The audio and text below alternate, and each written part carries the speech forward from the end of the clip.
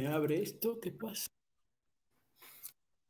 Pues, ya creo que pude todo su juro felicitar de Guatemala, de Colombia, alumnos y militantes de España, Guinea Ecuatorial, Argentina, Cuba, Colombia y Chile. Y si me deja algún otro país, por favor que me lo digan.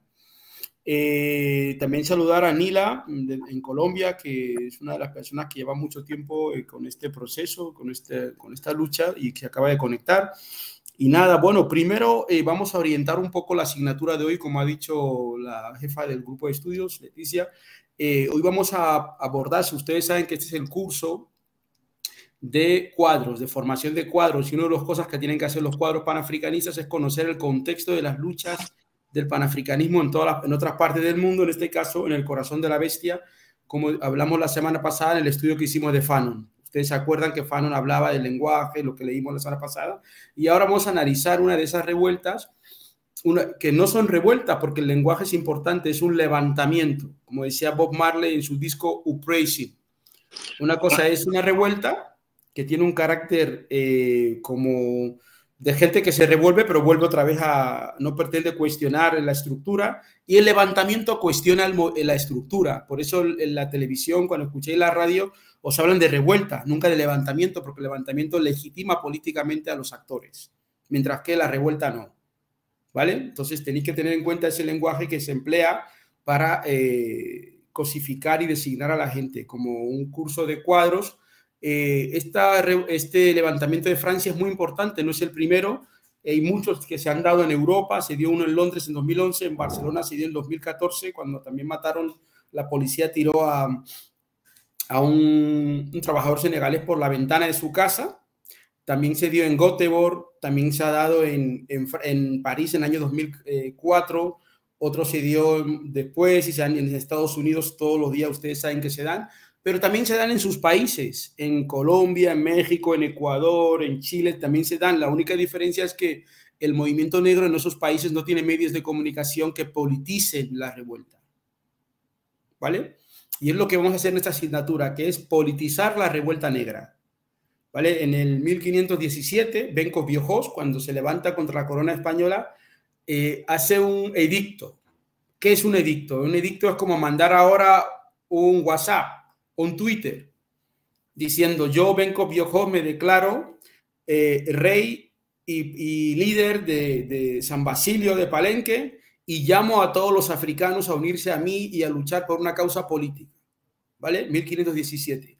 Entonces, ahora mismo cuando se producen levantamientos en el mundo, nosotros vemos por la televisión y, y dicen, ah, no, un grupo de negros que tal, que los mataron. Entonces, tratamos de interpretarlo así. Tenemos que interpretarlo como hay que politizar esa acción, ¿ok? Las, las acciones no son políticas por sí mismas. ¿Entiendes? Por, por ejemplo, cuando se trabaja con el, trabajamos con el diario ABA, TV, lo que hace es politizar las noticias que llegan de Guinea Ecuatorial, porque el gobierno de Guinea presenta que eh, ha condenado a, a 90 años de cárcel a personas que apenas han hecho nada y sin embargo lo quiere presentar como si fueran delincuentes y maleantes. Y nosotros los activistas de, lo, de cuadros, el grupo de cuadros, es convertir eso en, una, en un hecho político, en un hecho trascendental, en un hecho determinante, en un hecho histórico. ¿Ok? ¿Ok? ¿Entendamos? Entonces, esa, es la, la, la, la, la, obligación de esta, de esta clase. No es que la gente venga a aprender cosas y a, y a conocer cosas y repetir las mismas cosas que dice el sistema y seguir hablando como toda esta gente, sino convertir eh, los acontecimientos en acontecimientos políticos. Y eso solamente lo hacen quienes Fidel, el profesor Fidel Juez explicó, quienes tienen los instrumentos de comunicación, la televisión, la radio, los periódicos, es decir, la tercera fuerza de, las, de, la guerra social, que son los medios. Entonces, cualquier activista que no tenga, el, no tenga el control o que no esté en una lógica mediática está perdido porque la, guerra se hace en la narrativa. ¿Ok? Y lo principal que tienen que hacer ustedes es, cuando se produce un acto en su ciudad, buscar a las personas de su ciudad que, están metidos en eso. En este caso, el compañero Bunan Valle es un, líder es un líder político de base que está metido en París en eso. Y no dejarse llevar por lo que dijo un profesor de la universidad, un periodista blanco que aparece por allí, entonces eh, los curas y todo eso. No, nosotros tenemos que crear nuestra propia realidad, nuestro propio pensamiento, nuestra propia, sí, nuestro propio marco de comunicación, que es lo que hizo Marcus Garvey cuando creó eh, UNI, creó directamente el periódico de Negro World para poder darle la, la, información a la gente de lo que pasaba desde el punto de vista de ellos. Creó la revista de Blackman. ¿Vale? Eh, nosotros hemos creado Hulu África Televisión y también hemos creado el canal Afro en Colombia y también hemos creado la revista Reparación Africana para desde nuestro punto de vista dar la información a la gente en castellano, pero desde nuestro punto de vista, no desde el punto de vista de lo que dice el Washington Post, el New York Times, el País, el ABC, el, ¿cómo se llama? Otro gran lector, todos esos periódicos que hay en, que hay en, nuestras, en nuestros lugares. Entonces, esta es la actitud de un cimarrón. Los cimarrones creaban su propia prensa. Lo hacían con tantán, con tambores, lo hacían con, eh, que digamos, con edictos, pero siempre nosotros hemos sido, los cimarrones hemos creado medios de comunicación ah, dirigidos a nuestra gente, ¿vale? Entonces, para, para la, el, para convertirse en cuadros, tienen que ustedes que tener esa asignatura, ese, esa capacidad de liderazgo en cuanto a la información. Ustedes no se pueden dejar informar por lo que dice el sistema, porque entonces ustedes no van a ir a ningún lado, porque el sistema crea sus propios medios para consolidar su proceso. Entonces, nosotros estamos en un proceso de consolidación de una cumbre mundial en Madrid en noviembre, del 1 al 13 de noviembre del 2024. Y en ese proceso de consolidación de la cumbre tenemos que consolidar un proceso de creación de cuadros que sean capaces de llegar a Madrid para generar un marco de influencia sobre lo que pasa en sus países desde el punto de vista panafricanista. Y no gente que venga aquí a Madrid a mirar las luces, ay, que mi papá era de español y todas esas cosas que hacen los, los latinos cuando vienen a Europa y comienzan a, a ver en, en, sus opresores sus, sus, sus familias y sus amigos. Y eso es porque no se ha educado previamente para que eso no pase. ¿vale? Es decir, hay que, entonces esta, esta clase es para eso. Eh, también quiero decir que siempre ha habido, eh, la revuelta que ha habido en París eh, es parte de una tantas revueltas que ha habido siempre y conecta con las revueltas que había en Argelia, que había en Senegal, que había en África, que había en Camerún, conecta con la lucha de descolonización, por tanto la descolonización no ha acabado, conecta con las revueltas que había en Colombia, con los cimarrones, en Brasil, es decir, las revueltas africanas siempre han existido, pero se trata de que eh, para que las revueltas se conviertan en levantamiento, o sea, en un acto político, depende de que nosotros le demos o no esa categoría. ¿Vale? Y el lenguaje que nosotros manejamos no puede ser el lenguaje que maneja el sistema, porque el sistema tiene sus lenguajes para pues, hablar de afrodescendientes, de, siempre con un lenguaje muy equidistante y muy, y muy eh, eh, así. Y esas, entonces, Hoy vamos a tener ahora la clase, que es la clase que nos va a dar en Valle, y después de que él termine de hablar, entraremos en el ruegos y preguntas y las intervenciones en respecto a lo que ha pasado en Francia. Es muy importante que ustedes, eh, de alguna forma, eh, se documenten a través de él de lo que ha pasado en Francia, porque esas cosas están pasando o van a pasar en sus propios países. Por ejemplo, en Cuba, en Cuba eh, hay una opresión grande de los negros pero cuando los negros se levantan, automáticamente los medios dicen que lo que se ha levantado es el movimiento anticastrista. No, se levanta el movimiento negro de 100 años, hace 90, hace 500, en los negros se levanta, ahora antes era por Fidel, ahora por castrista, pero hay que evitar que nos, mm, la narrativa nos imponga procesos que no son nuestros. Si en Argentina se levantan los negros, dicen no, que se han levantado por el, orgullo gay. No, los negros tienen su propio levantamiento, los gays también. O sea, hay que evitar que nos metan a todos en ese saco que es confuso. Es decir, la lucha negra o la lucha africana tiene su propio contexto en cada país. Y, para que eso se vea, tiene que haber cuadros. Ustedes tienen que estar en el terreno liderando. No va a ser Cristina Kirchner la que diga que hay una revuelta. Lo tiene que decir Dana, lo tiene que decir Hilda, lo tiene que decir Leticia, no lo va a decir el gobierno. Entonces, igual eh, nosotros no vamos a llamar a alguien de de Le Soir, un periódico francés o la televisión francesa, para que nos hable aquí. Llamamos a Bunan Valle, que es un camarada y compañero, y ahora espero que Leticia lea un poco su, su, eh, introducción y ya comienza él y después entramos en, el, en los debates. Muchísimas gracias.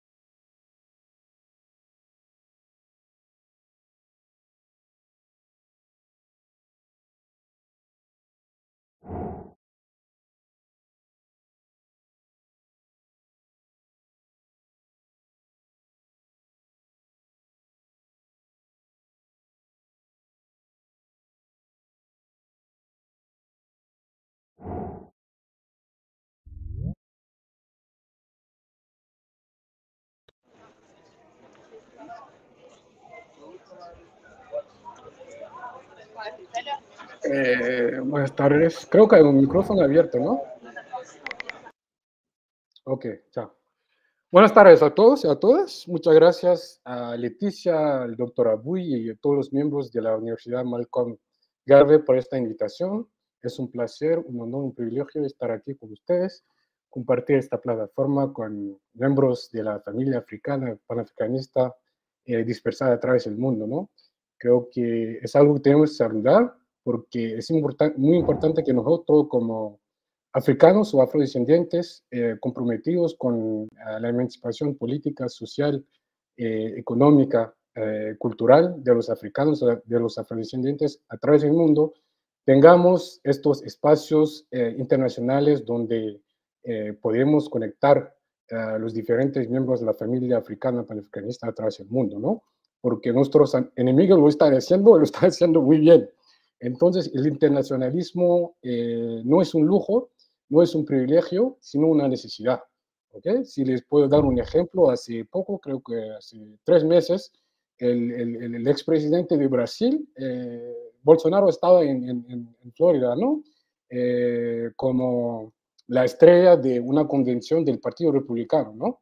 Entonces, los enemigos se están internacionalizando y nosotros, por supuesto, tenemos menos uh, recursos pero tenemos que seguir la lucha internacionalizando temas que pueden, que pueden parecer locales, ¿no? Y estoy tan, tanto más orgulloso de estar aquí con ustedes cuanto que el tema que vamos a discutir hoy, eh, en mi opinión, eh, refleja, eh, ilustra y confirma eh, la, la, relevancia y la pertinencia de, del compromiso eh, revolucionario de la filosofía política eh, del, del, compromiso panafricanista e internacionalista de dos figuras uh, centrales del panafricanismo cuyos nombres han inspirado el nombre de la universidad, ¿no? Me refiero, por supuesto, a Malcolm X y a Marcus Garvey. Para mí son figuras muy importantes por dos razones, ¿no? Hay muchos factores que hubiera podido mencionar, pero en mi opinión hay dos, dos elementos muy importantes que hay que tener en cuenta eh, cuando se habla de Malcolm X y de Marcus Garvey en este contexto, ¿no? Primero porque Malcolm X y Marcus Garvey eran gente del gueto, ¿no? Nacieron en familias muy humildes y eh, su fama uh, surgió en la Meca uh, negra en Occidente, ¿no? En Harlem, ambos. Uh, fueron conocidos en Harlem como líderes de la comunidad panafricanista y africana allí. Y ellos en su compromiso tenían como prioridad mejorar las condiciones de vida de las clases trabajadoras, las clases populares, los negros y las negras pobres. Y, y nosotros como panafricanistas, eso debe ser nuestra meta, ¿no? Debe, ser nuestro objetivo. El panafricanismo no es solo una ideología, eh, una filosofía que es el privilegio de algunos cuadros o de, de, de una élite que tiene los recursos económicos y simbólicos para comprometerse en la lucha, ¿no? Porque los, lo, lo, la, la, las comunidades africanas siguen siendo las más empobrecidas en África y a través del mundo, ¿no? Si ustedes van a Colombia, por ejemplo, el departamento de la región más pobre es el Choco, ¿no? Donde eh, la población eh, eh, negra es muy fuerte, ¿no? Las víctimas de las violencias policiales, eh, el tema que vamos a discutir hoy, son africanos y africanas pobres, ¿no? La, la, la, gente que está muriendo en el mar Mediterráneo tratando de, de, de, de emigrar a Europa son africanos, africanas uh, pobres, ¿no? Entonces, las clases laborales, las clases trabajadoras, las clases populares empobrecidas africanas deben ser nuestra prioridad. Eran la prioridad de Malcolm X y Marcus Garvey. Y la segunda razón, porque el legado de Marcus Garvey y Malcolm X es tan importante en nuestra lucha, es porque ellos habían entendido la, la centralidad del, del, del uh, de la lucha internacional. ¿ok? Eh, la lucha panafricanista no es solo una lucha local de comunidades afrodescendientes afri, uh, o africanas que están eh, luchando para mejorar su condición. ¿Sí? Eso es parte de, la lucha, pero eh, es también Uh, la necesidad de liberar al continente africano, ¿no? Y si me permiten, en la introducción no va a ser muy largo, les voy a citar unos párrafos eh, de discursos de Marcus Garvey y de Malcolm X que eh, va a ilustrar lo que estoy diciendo sobre la necesidad de tomar en cuenta la situación de los africanos en el continente, ¿sí?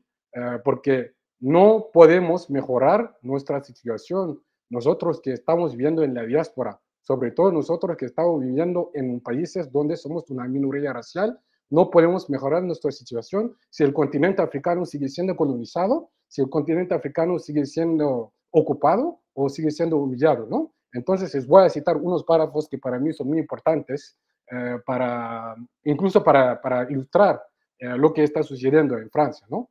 Entonces, en 1926, eso es lo que eh, Marcus Garvey escribió en la revista The Negro World que el doctor Abu ha en su introducción. Ahí dice Marcus Garvey, cuando nosotros, como miembros de la Asociación Universal del Desarrollo Negro, hablamos de un gobierno propio en África, de una bandera propia y de un himno nacional propio, algunos negros se ríen de nosotros, pero solo sentimos lástima por ellos, pues no saben lo que hacen. Cuando el tío Sam, es decir, Estados Unidos, lincha a sus muchachos negros con su uniforme a la espalda y John Bull, es decir, Gran Bretaña, llama extranjeros a sus ex soldados que le ayudaron en las guerras Ashanti y Zulu para tomar grandes tajadas de África, entonces ya es hora de que algunos negros aburridos y apáticos piensen en términos de nación. Y en 1999, en la segunda eh, revista eh, que eh, el doctor Abui ha mencionado, Marcus Garvey escribe, Estamos decididos a resolver nuestro propio problema, redimiendo a nuestra madre patria África de las manos de los exploradores extranjeros y fundar ahí un gobierno, una nación propia, lo suficientemente fuerte como para prestar protección a los miembros de nuestra raza dispersos por todo el mundo y para imponer el respeto de los negros a las naciones y razas de la tierra. Eso lo escribió Marcus Garvey cuando la mayoría de los países africanos estaban colonizados, ¿no? Y 30 años después, algunos países, la mayoría de los países africanos ya habían alcanzado la, independencia, ¿no? Y fue en ese momento que emergió eh, la figura de Malcolm X. Y Malcolm X, cuyos padres eran garveyistas, ¿no? Entonces el pensamiento, el compromiso revolucionario de Marcus Garvey también tenía influencia sobre Malcolm X, ¿no? Entonces en 1964 Malcolm X fue invitado en la cumbre de la Organización de la Unión Africana eh, que ahora se llama Unión Africana, y ahí les mando un, memorándum en el que decía, entre otros, creemos que como eh, creemos que como jefes de los estados africanos independientes, ustedes son los pastores de todos los pueblos africanos del mundo, los que viven en el continente madre, así como los que se han dispersado por el extranjero. Algunos líderes africanos de esta conferencia han insinuado que ya tienen suficientes problemas aquí en el continente madre, sin añadir el problema afroamericano. Con el debido respeto a sus estimadas posiciones, debo recordarles a todos ustedes que el buen pastor dejará 99 y nueve ovejas que están seguras en casa para ir en ayuda de la que está perdida y ha caído en las garras del lobo imperialista. Esperamos que nuestros hermanos africanos no sean liberados del colonialismo europeo solo para ser vencidos y frenados ahora por el dolarismo estadounidense. No dejemos que el racismo estadounidense sea legalizado por el dolarismo. En interés de la paz y la seguridad mundiales, rogamos a los jefes de los estados africanos independientes que recomienden una investigación inmediata de nuestro problema por parte de la Comisión de Derechos Humanos de las Naciones Unidas. Muy importante. Lo estoy recordando porque una de las debilidades del movimiento antirracista en Francia es que no están tomando en cuenta la importancia de compromiso internacional. ¿Ok? Muchos se enfocan en problemáticas locales, ¿ok? Porque hay mucha gente que solo quiere mejorar su situación como ciudadano o como migrante en Francia, pero no lo podemos hacer en un país que sigue colonizando nuestra, nuestra tierra, ¿no? Francia sigue siendo una potencia colonial en el siglo XXI. Entonces, si nosotros queremos mejorar la situación de los negros en este país, tenemos que tomar en cuenta que hay luchas anticoloniales en África y que nosotros dependemos de lo que está sucediendo allí. Eso es lo que quería aclarar en mi introducción y para hacer el vínculo con el tema de hoy, eh, que es el levantamiento de la juventud afro eh, en Francia contra el neocolonialismo y el racismo en Francia, eh, lo que podemos decir desde un punto de vista garveyista y malcolmista y panafricanista es que este levantamiento fue un levantamiento legítimo, necesario, contra las violencias policiales, que son violencias racistas y coloniales, ¿ok? Violencias racistas y coloniales implementadas por eh, agentes armados del Estado, ¿ok? Pero estas violencias han sido teorizadas, legitimadas por la clase dirigente en Francia, ¿ok? ¿Y por qué lo están legitimando? Hay dos factores que hay que tomar en cuenta, ¿no? El primer factor es un factor eh, local, nacional. Es que en Francia, desde hace muchos años, y ustedes lo vieron con el movimiento de los chalecos amarillos, la intensificación de las protestas contra, eh, contra eh, las políticas neoliberales, ¿no? Lo, vieron con el movimiento de los chalecos amarillos, pero también hubo otros movimientos sociales, ¿no? Como el movimiento más reciente contra la, reforma, la reforma del sistema de, pensiones, ¿no? Que fue tan impopular que el gobierno tuvo que aprobar la ley sin el consentimiento del Parlamento, ¿no? Entonces, estos movimientos sociales son muy fuertes. Y la estrategia de la clase dirigente en Francia, la élite económica y política, es, entonces, para superar estas contradicciones de clase, ellos se utilizan las tensiones étnicas como herramienta para superar estas contradicciones de clase, ¿no? Eso puede funcionar en una sociedad donde el legado del colonialismo sigue siendo muy fuerte. Hay que recordar que en Francia nunca hubo un movimiento anticolonialista muy poderoso, ¿no? O sea, hubo algunos grupos, algunos eh, partidos políticos como el Partido Comunista, pero bueno, el, el legado del Partido Comunista es un poco ambiguo, ¿no? Pero nunca hubo un, movimiento, masivo de protesta contra el colonialismo en esta sociedad. ¿Ok? Entonces puede funcionar. Eso es el nivel a nivel nacional. A nivel nacional, el objetivo de esta clase dirigente es superar las contradicciones de clase a través de la exacerbación de las tensiones étnicas y raciales, ¿no? Y el segundo factor que hay que tomar en cuenta es el cambio a nivel internacional. ¿Ok? Estamos viendo el auge de los BRICS, ¿ok? Entonces Brasil, Rusia, la India, China y Sudáfrica, eso está transformando las relaciones de poder a nivel internacional, ¿ok? Y también a nivel internacional lo que estamos viendo es el debilitamiento del imperialismo francés, ¿ok? Sobre todo en África, ¿ok? Solo para darles un ejemplo, hoy hay una manifestación con miles de personas en Niamey, la capital de Níger, eh, enfrente de la embajada de Francia, eh, en Niger, donde hubo un golpe de Estado hace tres días, ¿no? Entonces hay una manifestación de miles de personas en Níger que están protestando contra el colonialismo francés, ¿ok? Níger es un país muy estratégico no solo para Francia, sino para la OTAN, porque en Níger hay más de 1.500, repito, 1.500 soldados franceses que están en Níger. ¿Ok? El ejército francés que ha sido expulsado de Mali, ¿ok? Otro país clave en el Sahel, y de Burkina Faso, ¿ok? Entonces, ¿cómo están debilitados a nivel internacional? Mi teoría es que pueden vengarse contra los africanos que están aquí, diciendo que nosotros estamos influenciados por Rusia, por ejemplo, ¿no? Porque es lo que están haciendo.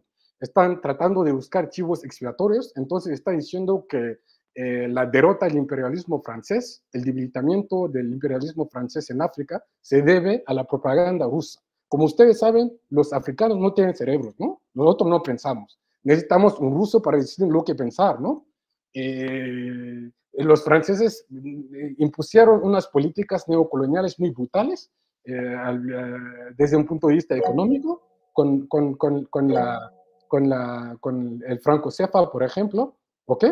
Y eh, la presencia militar. Entonces, esto es el contexto que hay que tomar en cuenta si uno quiere analizar lo que está pasando en Francia ahora en el contexto del levantamiento de la juventud afro. Hay que tomar el contexto socioeconómico local, pero también el contexto internacional que acabo de mencionar.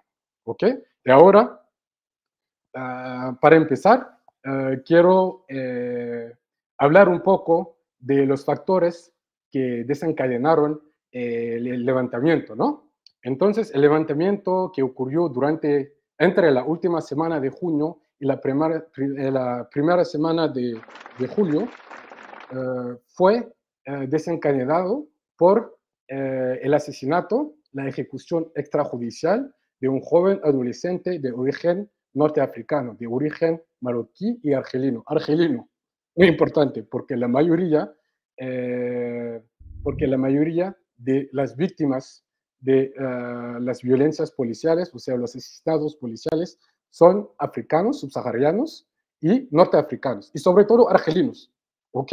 Eh, ustedes tienen que recordar que en Argelia hubo una guerra de independencia muy larga, ¿ok? Ocho años y muy sangrienta, ¿no? Entonces, el hecho que la mayoría de las víctimas norteafricanas de los asesinatos, asesinatos policiales son eh, argelinos no es, pura, no es pura casualidad, en mi opinión. Entonces, lo que pasó eh, es que eh, hubo un enfrentamiento, bueno, Nahel fue detenido en, el, en, una ciudad de Nanterre, estaba manejando su, su carro y entonces, según el, el, policía, el policía le dijo que tenía que detenerse para un control y según el policía, él se negó a detenerse y estaba tratando de, de, de, pegarle con su carro, ¿no? Es lo que dijo el policía, ¿no? Eso fue antes de la publicación de un video que ha discreditado de manera completamente eh, clara y brutal las mentiras del policía, ¿no? Porque los medios empezaron a confirmar, entre comillas, lo que había dicho el policía, que se, sentía amenazado y que había disparado, ¿no? Eh, y en Francia hay una ley eh, que fue aprobada en 2017 que aumenta eh, la capacidad sí, la capacidad de los agentes del Estado, los policías, de abrir el fuego si hay una, resistencia al arresto, ¿no? En, francés se dice refus d'obtempérer, resistencia a la autoridad o resistencia al arresto. Entonces, eso fue el pretexto. Pero luego, un, video fue publicado en las redes por una persona que estaba asustada, escandalizada por lo que se decía en los medios. ¿Ok? Recuerden que los medios son medios de jefatura policial, es decir, que eh, sus fuentes son fuentes policiales. ¿Ok? Entonces, cuando este video fue publicado, el presidente, el propio presidente tuvo que salir con un comunicado diciendo que lo que pasó fue injustificable, que no era aceptable y que eh, había que implementar la justicia, ¿no? Y ah, entonces, ah, lo que pasó es que cuando los, la juventud afro vio este video, muchos de ellos reconocieron en gente muchos de ellos dijeron, bueno, yo hubiera podido ser Nahel. ¿Y qué hubiera pasado si no hubiese este video? Nadie hubiera hablado de lo que había pasado, ¿no? Y de hecho, dos, dos semanas antes del asesinato de Nahel, otro ciudadano africano, pero africano, ¿no? Eh, que no tenía los papeles franceses, migrante de Guinea, eh, en eh, África del Oeste, también murió después de una intervención policial en el uh, suroeste de Francia, en Angoulême. Y en este caso, eh, no había cámaras, ¿ok? O sea, los policías tenían su cámara, pero durante el incidente ya no tenían baterías en su cámara. O sea, había como cuatro policías, pero ya no tenían batería. Entonces, nadie había hablado de este evento, de este asesinato, pero cuando la juventud afro se levantó para protestar con lo que sucedió con Nahel, este policía que había matado a este eh, ciudadano eh, de Guinea, se, llama, se llamaba eh, Al-Hussein Camara, este policía fue detenido, fue inculpado. Entonces la gente que dice que la, la, la, el levantamiento no sirve para nada, tiene que tomar en cuenta el hecho que esta juventud presionó al Estado para que implementen unas decisiones que nunca hubieran tomado si no la juventud no se hubiera levantado, ¿no? Eso es muy importante, hay que tomarlo en cuenta. Pero eso refleja las violencias policiales. Y ahora les voy a compartir un video que refleja, eh, un video muy corto, son corto, 40 segundos, para que vean eh, a qué tipo de salvajería la, juventud afro se está enfrentando eh, cada día aquí en este país. Es un video que fue grabado en 2021 es en, dentro de, un estudio de, música, ¿no? luego lo comento.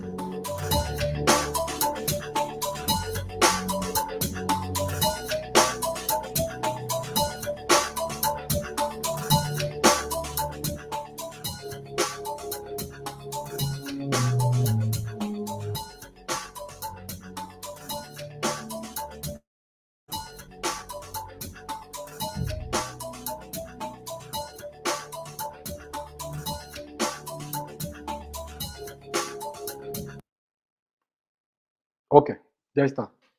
Eh, entonces, eso sucedió en 2021, eh, durante el, el, confinamiento aquí en Francia. Entonces, lo que sucedió es que los policías entraron en este estudio y golpearon al director y luego dijeron que se sentían amenazados por él, que estaba tratando de, eh, estaba tratando de grabar sus, sus, armas y que ellos implementaron la ley porque él se negaba a, a, a obedecer, ¿no? O sea, otro caso de resistencia a la, al arresto, ¿no? Pero ellos no sabían que estaba grabado, ¿no? Entonces, cuando salió este video fue otro escándalo, ¿no? Y eso es lo que pasa cuando nosotros no tenemos la, posibilidad de vigilar a la policía, porque, como les dije, los medios son medios de jefatura policial, solo van a repetir lo que dicen los policías, ¿ok? Entonces, si no tenemos las pruebas, para demostrar que lo que está diciendo son puras mentiras, eh, bueno, nadie nos va a prestar atención, ¿no? Porque este, nos van a decir que son otros casos de gente que se está victimizando, bla, bla, bla, bla, bla. Ya saben, ¿no? Y el, problema del racismo en Francia, el racismo policial, es un problema sistémico, es un problema sistemático y sistémico. Y según las estadísticas del propio gobierno, eh, hay una institución aquí que se llama el Defensor de los Derechos, ¿Ok? La probabilidad que un negro o un ciudadano árabe sea controlado por la policía es 20 veces más elevada que para un, blanco, ¿no? 20 veces, 20 veces más elevada, ¿no? Aquí se llama el control facial. Además, hay las violencias policiales. Hay cinco años, una ONG eh, protestante hizo un estudio sobre las víctimas de los asesinatos policiales, o sea, la, la, persona que fue matada por los policías entre 2007 y 2015. Y las, dentro de las 26 víctimas, 24 no eran blancos. ¿Ok? Entonces, es una violencia que tiene consecuencias directas sobre la vida de los negros y de los uh, norteafricanos que están eh, viviendo en este país, sobre todo hombres, porque en casi todos los casos las víctimas son hombres. ¿Ok? Y em, hay, hubo otro, también otros escándalos eh, de racismo dentro de la policía. Ah, hace dos años, un grupo de WhatsApp, no, un grupo Facebook que tenía 8 mil, 8 mil policías, no he dicho 8, porque no, no he dicho 80 o 800, 8 mil policías, ¿ok?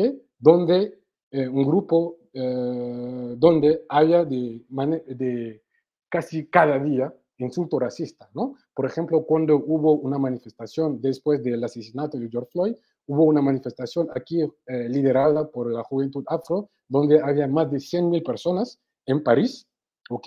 En este grupo estaba diciendo, este, esta manifestación se parece a una, un naufragio petrolero, ¿no? Solo, esto es muy chocante lo que está diciendo, ¿no? Pero solo les, les quería ilustrar la profundidad de este racismo, ¿no? Y eh, cuando George Floyd fue asesinado, hubo un informe confidencial que dijo que había racismo dentro de la policía, pero que estos racistas eran eh, una minoría, o sea, eran actos aislados que no reflejan las tendencias generales dentro de la policía. Lo que desde un punto de vista es mentira, ¿no? Pero, pero es lo que están diciendo para defender a la policía. Y ahora esta policía se está volviendo aún más amenazante y, podría decir, aún eh, ¿no? Porque lo que acaban de hacer es que eh, hay cinco policías que fueron detenidos hace cinco días por haber golpeado y casi dejado por muerto un, joven de, de, de, en, la, en, Marseille en el sur de Francia, lo dejaron casi por muerto y eh, él, bueno, tuvo que ir al hospital eh, con muchas cirugías y todo, ¿no? Entonces fueron detenidos, detención preventiva, pero hubo un movimiento de huelga de la policía con, con, muchos agentes que dicen que se niegan a trabajar porque el tratamiento eh, que recibieron sus colegas es eh, injusto, ¿no? Y hasta el director general de la Policía Nacional aquí en este país salió hace cinco días diciendo que el hecho que unos policías estén detenidos lo deja despierto, ¿ok? Lo mantiene despierto. Él no puede dormir porque sabe que hay algunos policías que en algunos casos han matado a gente están eh, detenidos, ¿no? Entonces lo que está haciendo es que están presionando el gobierno, que tiene mucho miedo, ese es otro punto que vamos a discutir más tarde, están presionando al, al, al, al gobierno para que los policías no eh, estén detenidos o no vayan a la, a, la, cárcel, sea cual sea lo que hagan. ¿Ok? Eh, eso lo dijo el director nacional de la Policía, el director general de la Policía Nacional. Y el, el, el, prefecto, o sea, el, jefe de la seguridad del, eh, de la región de París, dijo que estaba de acuerdo con lo que dijo el director general de la policía, ¿no? Eh, y el, el, el, presidente dijo que no quería comentar lo que había dicho, pero que nadie estaba encima de la ley. Entonces, ellos están asustados, ¿ok? porque necesitan la policía para mantener el orden económico, el orden social y el orden racial, pero si la policía se niega a obedecerlos, están, están jodidos, pues, perdón por ser un poco grosero, pero es la realidad. Entonces la policía sabe que tienen una ventaja, está chantajeando eh, el poder político, que parece muy impotente, ¿no? Para que ellos acepten todo lo que hagan, ¿no? Cuando eh, empezó eh, el levantamiento, los sindicatos de la policía publicaron un comunicado eh, diciendo que estaban en guerra, ¿ok? Ya estaban en situación de guerra y que ellos estaban determinados a erradicar las plagas, ¿ok? Eso es el lenguaje que están utilizando. El, el, el jefe de la policía, el Ministerio de Asuntos Interiores, no dijo nada, dice que no va a comentar eh, los comunicados de estos sindicatos, ¿no? Ellos pueden decir lo que quieran, ¿no? Lo que quieran, no nos pueden comparar a insectos o animales, no va a pasar nada, ¿ok? Y eso es muy importante, hay que tomarlo en cuenta. El, el, el, racismo de la policía es un racismo masivo, es un racismo sistemático, es un racismo sistémico, ¿ok? Y eso no lo digo yo, lo, lo, lo han dicho muchos expertos, incluso un, un, experto que estaba enseñando en la Escuela de Formación de los Policías, un sociólogo que se llama eh, Sebastián Rocher, ¿ok? Ha publicado muchos libros y muchos artículos con respecto al tema.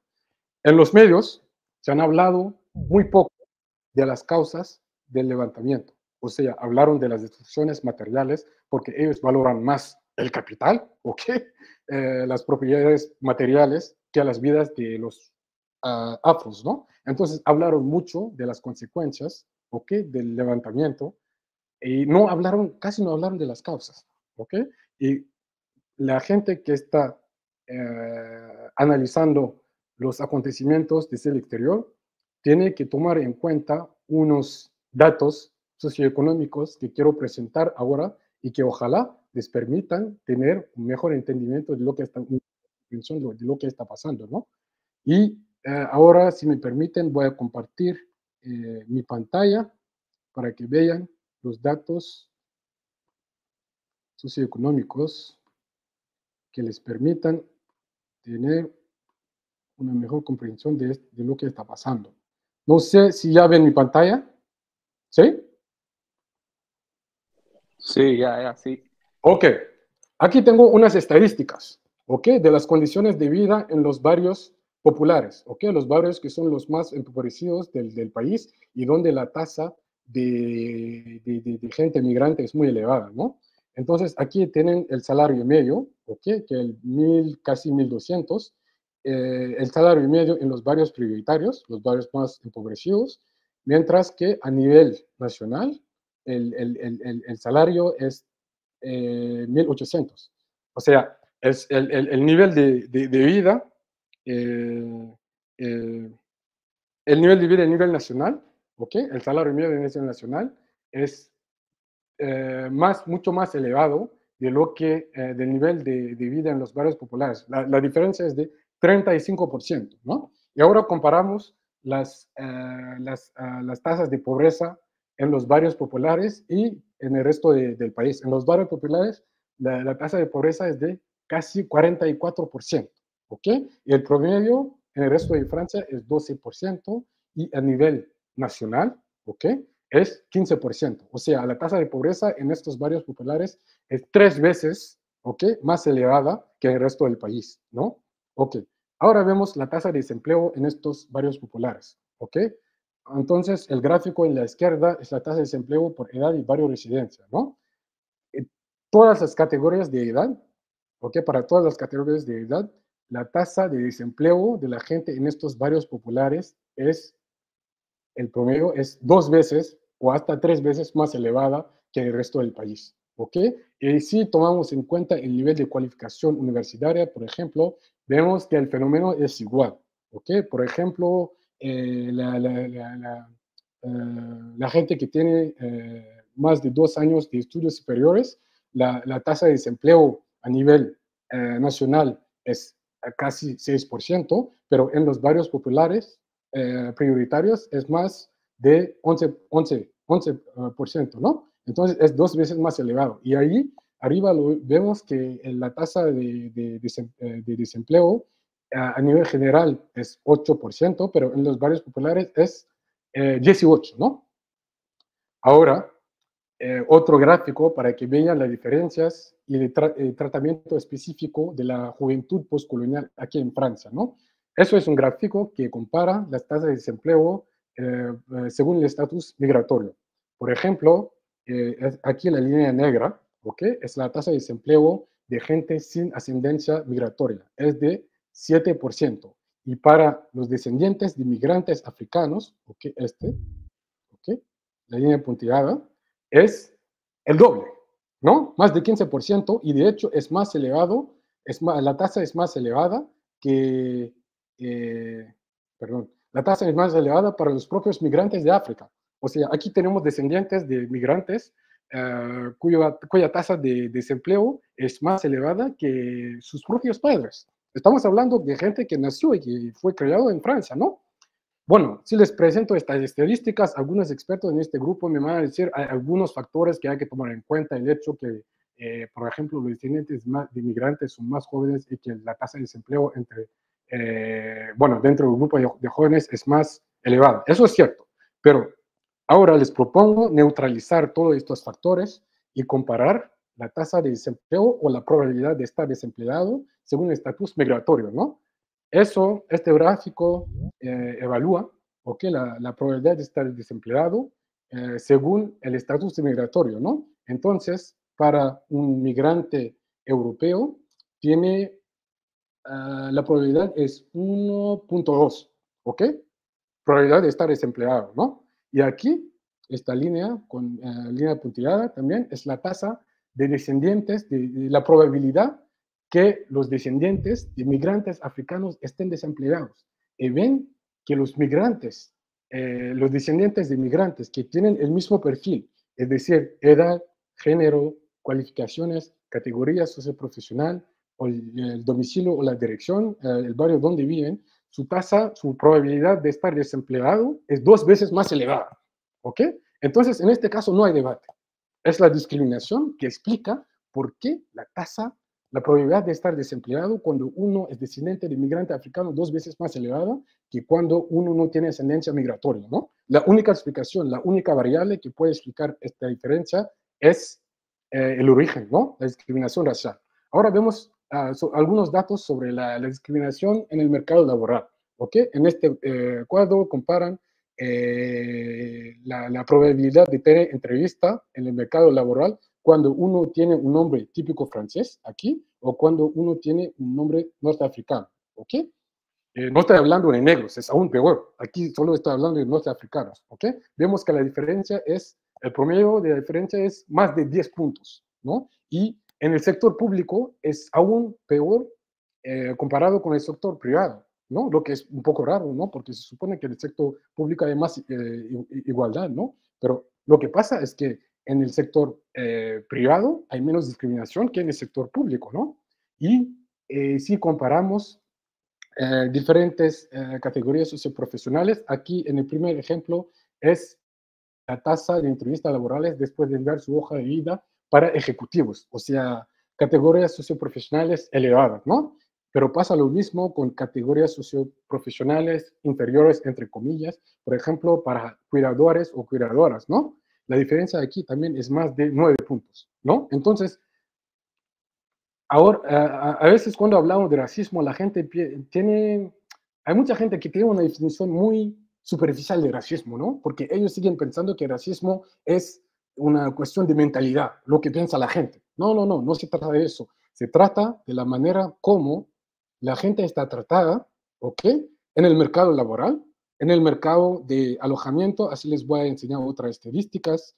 La discriminación en el mercado de alojamiento también, las agencias inmobiliarias practican una discriminación masiva, ¿ok? Entonces, la, eh, aquí es el, eh, el, porcentaje de respuestas positivas después de una visita, visita, no visita, visita de un alojamiento, ¿no? Para un, candidato con un, un, nombre típico francés es 14%, pero para negros, ¿ok? Con un nombre subsahariano es 9%, ¿no? Y eh, si vemos la tasa de personas que encuentran alojamiento en un año, para los blancos es casi 80% y para los negros es la mitad, ¿no? Entonces, para entender lo que está sucediendo en este país, hay que tomar en cuenta estos factores socioeconómicos que son muy importantes, que los periodistas blancos no les van a enseñar. ¿Ok? Ellos van a decir, oh, no, hay que cambiar las mentalidades. Eh, estamos hablando en un contexto político donde, eh, en el que la derecha extrema nunca ha tenido tantos diputados en el Congreso. Es la primera, uh, es la primera vez en la historia de Francia eh, que tenemos más de 80, ¿ah? ¿ok? Casi 90 diputados que son del partido derechista, xenofóbica, xenofóbico y racista, que se llama Frente Nacional. ¿Ok?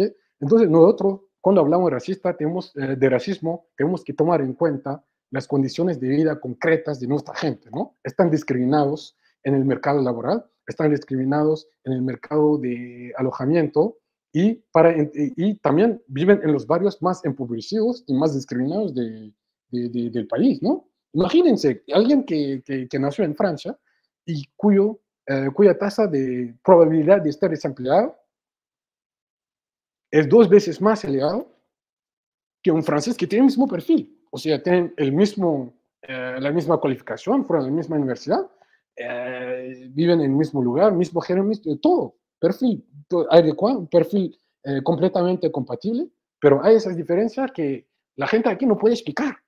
O sea, hay mucha gente, incluso en la izquierda, que no lo quiere aceptar, porque eso no está compatible con su visión de lo que debe ser la República Francesa. ¿Ok? La lema en Francia, la frase es libertad, igualdad y fraternidad. Pero lo que la juventud aquí afro es libertad, ¿ok? Eh, eh, igualdad y vete al carajo, ¿no? Esa es la lema, ¿no? Esa es la lema, es la lema teórica y la lema práctica, ¿no? Y en práctica son las discriminaciones que explican ese tipo de levantamiento, ¿ok? Eh, después de analizar este contexto, ahora lo que les propongo, porque me quedan como 30 minutos, ¿no? Va a ser suficiente. 30 minutos para hablarles de eh, las reacciones de los políticos, ¿ok? Y de los medios. Recuerden que al principio les dije que una de las estrategias de la clase dirigente en Francia es exacerbar las tensiones étnicas para superar las contradicciones de clase, ¿no? O sea, hay, muchos movimientos sociales que han sido reprimidos de manera terrible, ¿okay? desastrosa por la policía. El movimiento de chalecos amarillos, por ejemplo, hubo cientos de personas que, con, que perdieron una mano, un ojo, muchos que fueron heridos. Entonces, la violencia está ahí. El Estado, la, la clase dirigente, necesita la policía para implementar, ¿okay? para mantener el orden. Un orden económico neoliberal, un orden social racista y un orden eh, un orden eh, geopolítico internacional imperialista, ¿no? Entonces, ahora les propongo analizar la reacción de eh, los, los, políticos y de los medios, los medios que están controlados por unos multimillonarios, ¿no? Hay 10 multimillonarios en este país, la gente más rica de este país, que controla 90, 90% de los medios, ¿ok? Y ellos definen la narrativa, incluso para la gente afrodescendiente que está viviendo en este país. Y les propongo analizar eh, sus reacciones a través de un paradigma que yo voy a, voy a llamar el cajachinismo, ¿no? El que, es decir, ellos están uh, tratando de desarmar la bomba, una bomba de relojería socioeconómica eh, que está dispuesta a explotar, ¿no? Y entonces la tratan de desarmar. ¿Y cómo lo hacen? Están armando la caja china. Y para entender lo que es caja china, les propongo ver un video que es un extracto de, de una película que les recomiendo a todos, que se llama Dictadura Perfecta. Si hay mexicanos en este grupo, creo que ya saben de qué tipo de película está hablando. Entonces, les propongo ver juntos este extracto, eh, que, es, que no es muy largo, pero que ojalá uh, les permita entender lo que está pasando en Francia y sobre todo las reacciones de la élite económica y política de este país.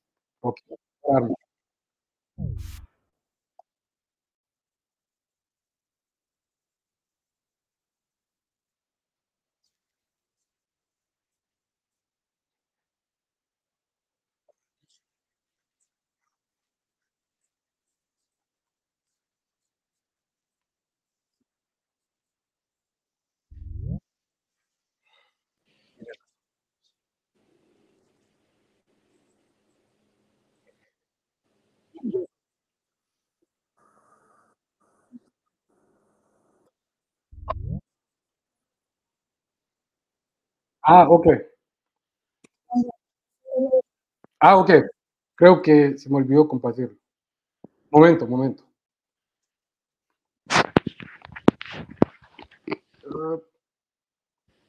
Ah, ya. Ya está. Ahora deberían verlo. Me dicen si lo ven. Okay,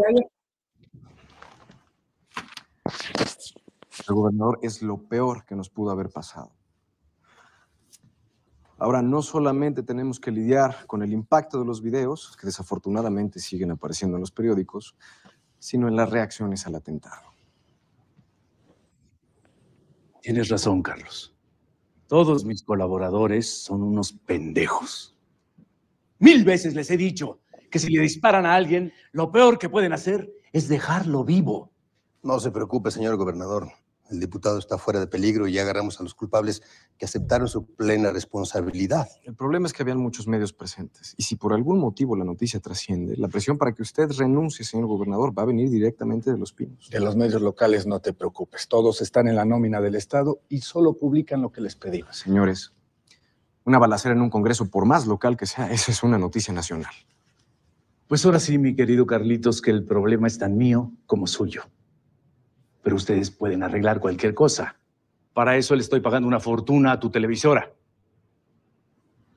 ¿O no? Pues no se me ocurre más que echar a andar la caja china. ¿Qué chingados tienen que ver los pinches chinos en todo esto? Les voy a explicar la caja china. Necesitamos encontrar otra noticia algo grande que distraiga la atención para que el atentado pase a segundo plano. Una, una noticia con la que la gente se identifique, se conmueva. Esa es la caja china. Pues aquí lo que hay para tirar para arriba son balaceras y ejecuciones. Apenas hoy en la mañana aparecieron ocho ejecutados en un palenque. No sé si eso le sirva, don Carlos. No, no. Capitán, ¿tiene usted alguna idea? No, pues a mí también solo me reportan hechos de sangre. Mire,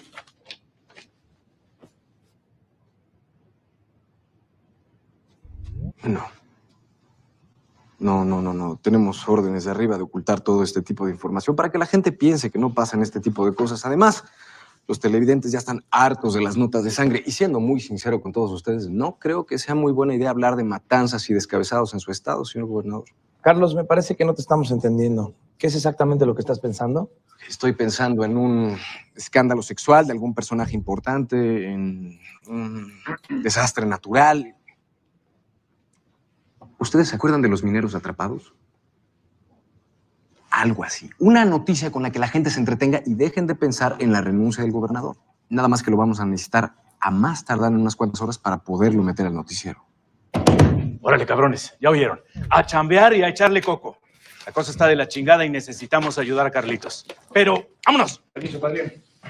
Te lo compadre. Hasta luego, señor. No te preocupes, Carlos. Ya verás que algo va a salir.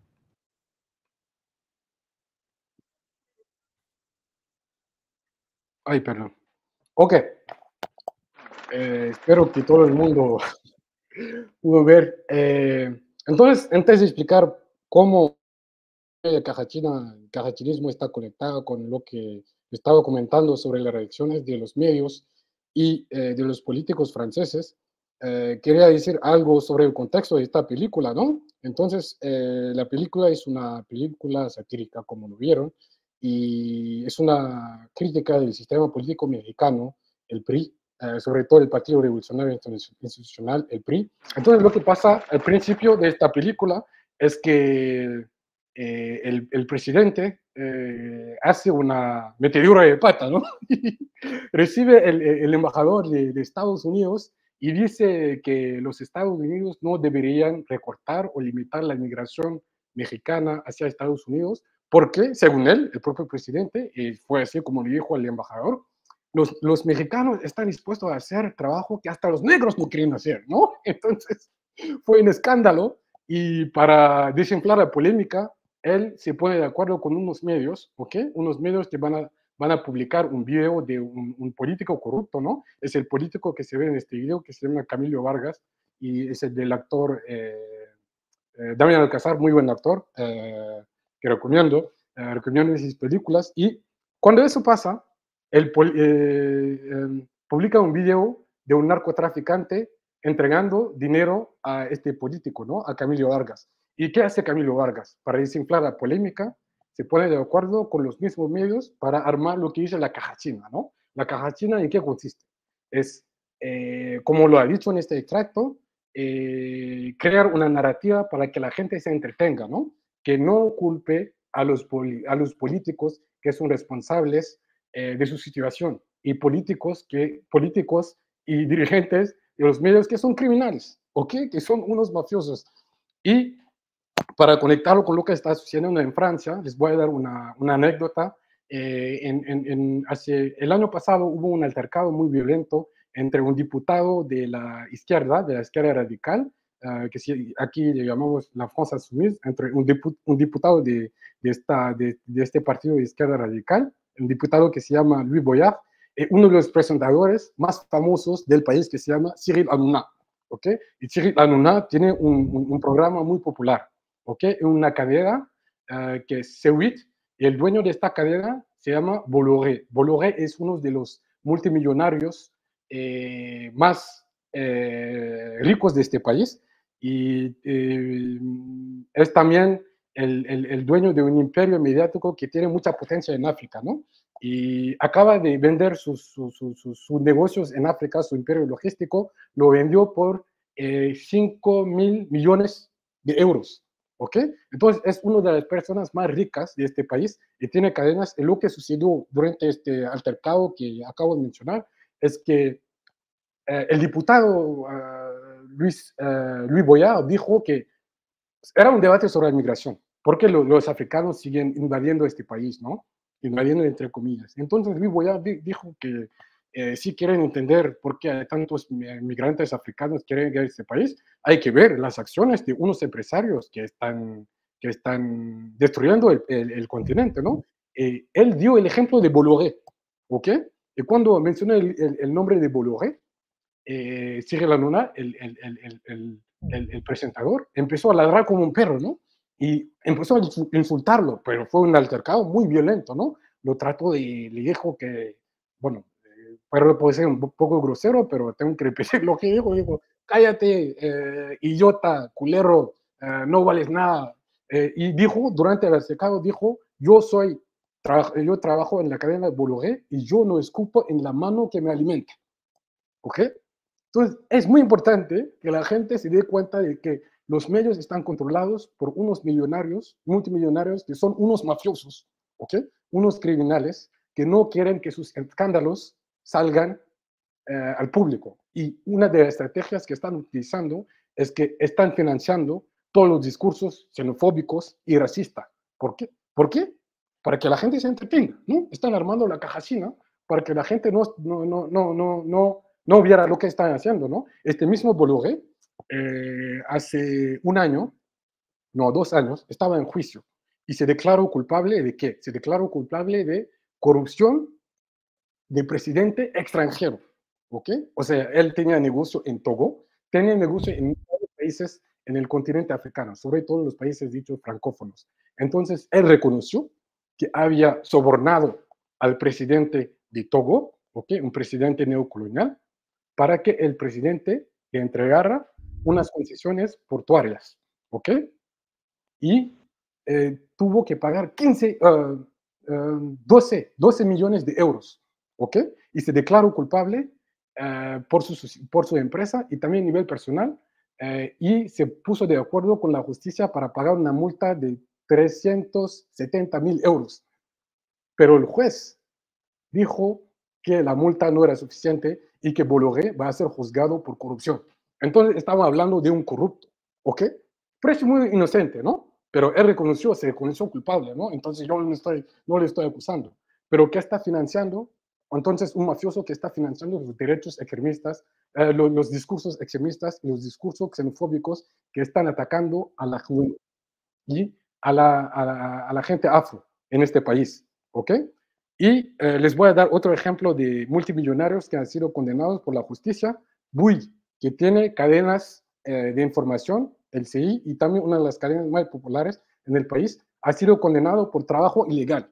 Había empleado más de 460 polacos y romanos que estaban trabajando en la construcción de un reactor nuclear. ¿ok? Y ellos controlan los medios de información. Y también, y esto será el, el, el último ejemplo, el hombre más rico eh, de Francia, que se llama Bernard Arnault, aceptó pagar una multa de, de, de, de 10 millones de euros para que no hubiera una investigación sobre casos de espionaje dentro de su empresa, ¿no? Entonces, estamos hablando de gente que está controlando las narrativas, pero que quiere utilizar la rabia o el odio al inmigrante para que los franceses se queden igual de dormidos, ¿no?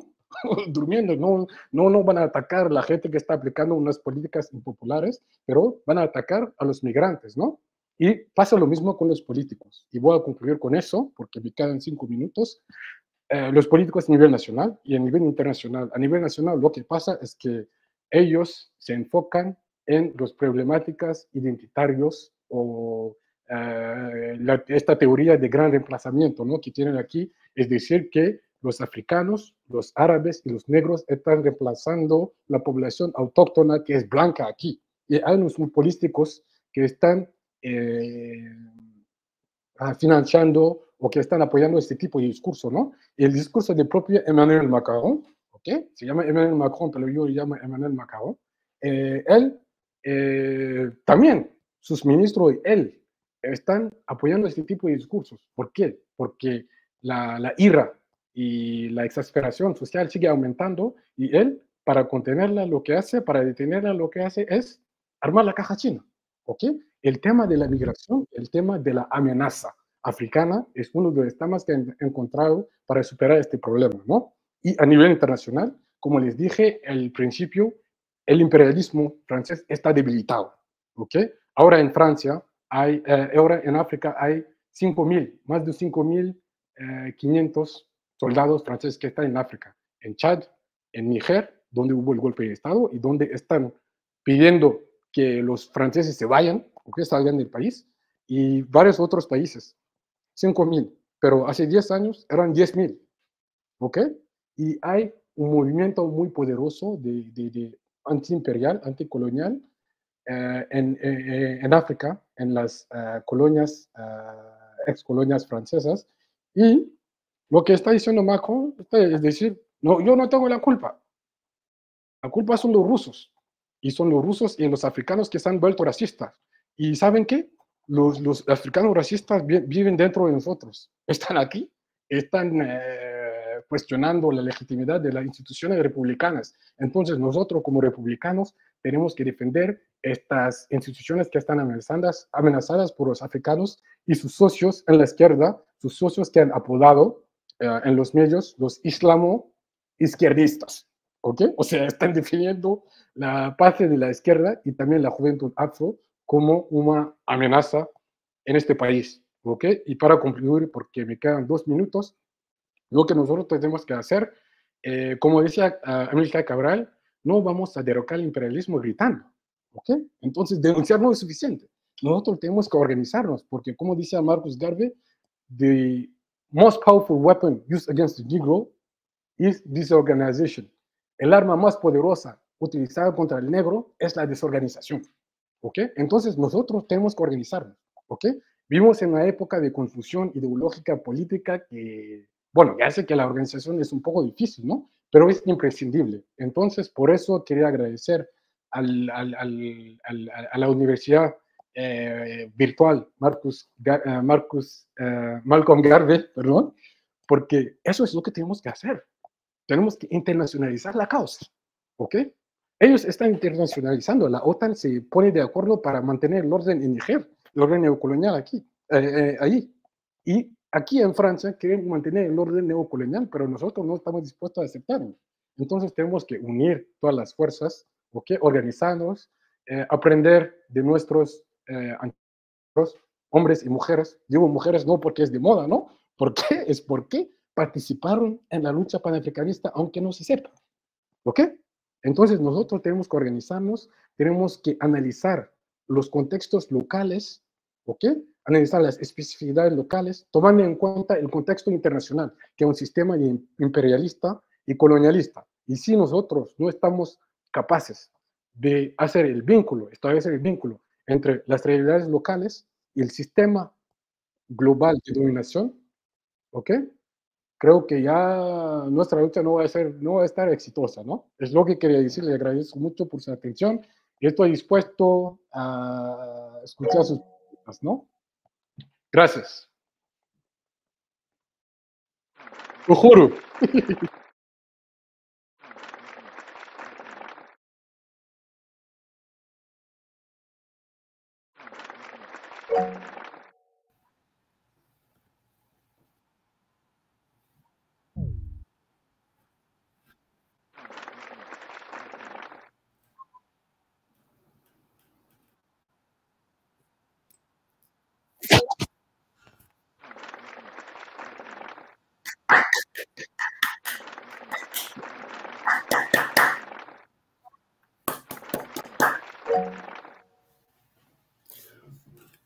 Yo di la palabra, eh, bueno, cedo la palabra al decano de la universidad, al profesor eh, Fidel Juez, que creo que está allí, que, eh, corresponde a hacer esta parte de la, del análisis en relación a, a, la conferencia.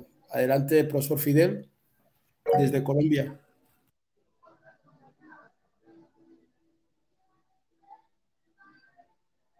¿Dónde está mi profe?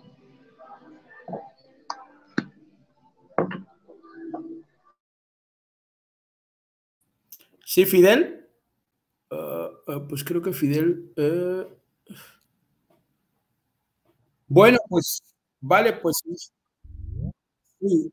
Eh, bre brevemente, porque también tiene ahí otras palabras, está ahí, y, pero eh, por favor, Ivette Morales, por favor, las personas que vienen por primera vez, como no sabemos quiénes son, no es porque sean policías, pero a veces no sabemos, entonces tenemos que saber. Está la, el compañero o la, o la, compañera Ivette Morales, no sé si es, eh, también tiene la mano levantada. Bien, eh, ha sido una clase importantísima, muy buena, magistral, excelente. Y yo creo que quiero empezar por el final de, la, de las palabras de, de profesor Bunan Valle, la necesidad de eh, rearticular las luchas locales y eso implica eh, que nosotros tenemos que construir movimientos sociales en nuestros pueblos donde estamos, locales, y nosotros estamos construyendo un proyecto que se llama la Cuarta Internacional Panafricanista, que es la organización que estamos construyendo, lo que significa que no se trata de que alguien esté en todas las luchas, como vemos a muchos negros que están en el movimiento LGTBI, las luchas contra el desahucio, las luchas contra la izquierda, las luchas de no sé qué. Vemos muchos negros que en Internet están en montones de luchas, en Instagram, y eso no sirve porque lo que hay que hacer es uno es ponerse en una lucha concreta, eh, de alguna forma eh, invertir en esa lucha y, y, consolidar ese proyecto en algo que sirva. Es decir, hay que ser parte del proceso de lucha, no, no se trata de conocer todo lo que pasa en Francia, en España. A veces hay gente que me escribe, oye, ese, profesor Abuy, quiero conectarme con España. Le pregunto, ¿y usted allá en Argentina o en Chile tiene alguna conexión? No, es que aquí no se hace nada. No, brother, usted tiene que empezar haciendo allá en su sitio y ser parte del, de la lucha local con Leticia, con Dana, con Hilda. Tiene que empezar, esa es la forma en que se construye un proceso, no es eh, directamente por tener 5 mil, 15 mil seguidores de, en las redes que luego no pueden potenciar ningún elemento, ¿no? Y eso es gran parte de lo que el compañero también, el profesor, ha dicho que pasa en Francia.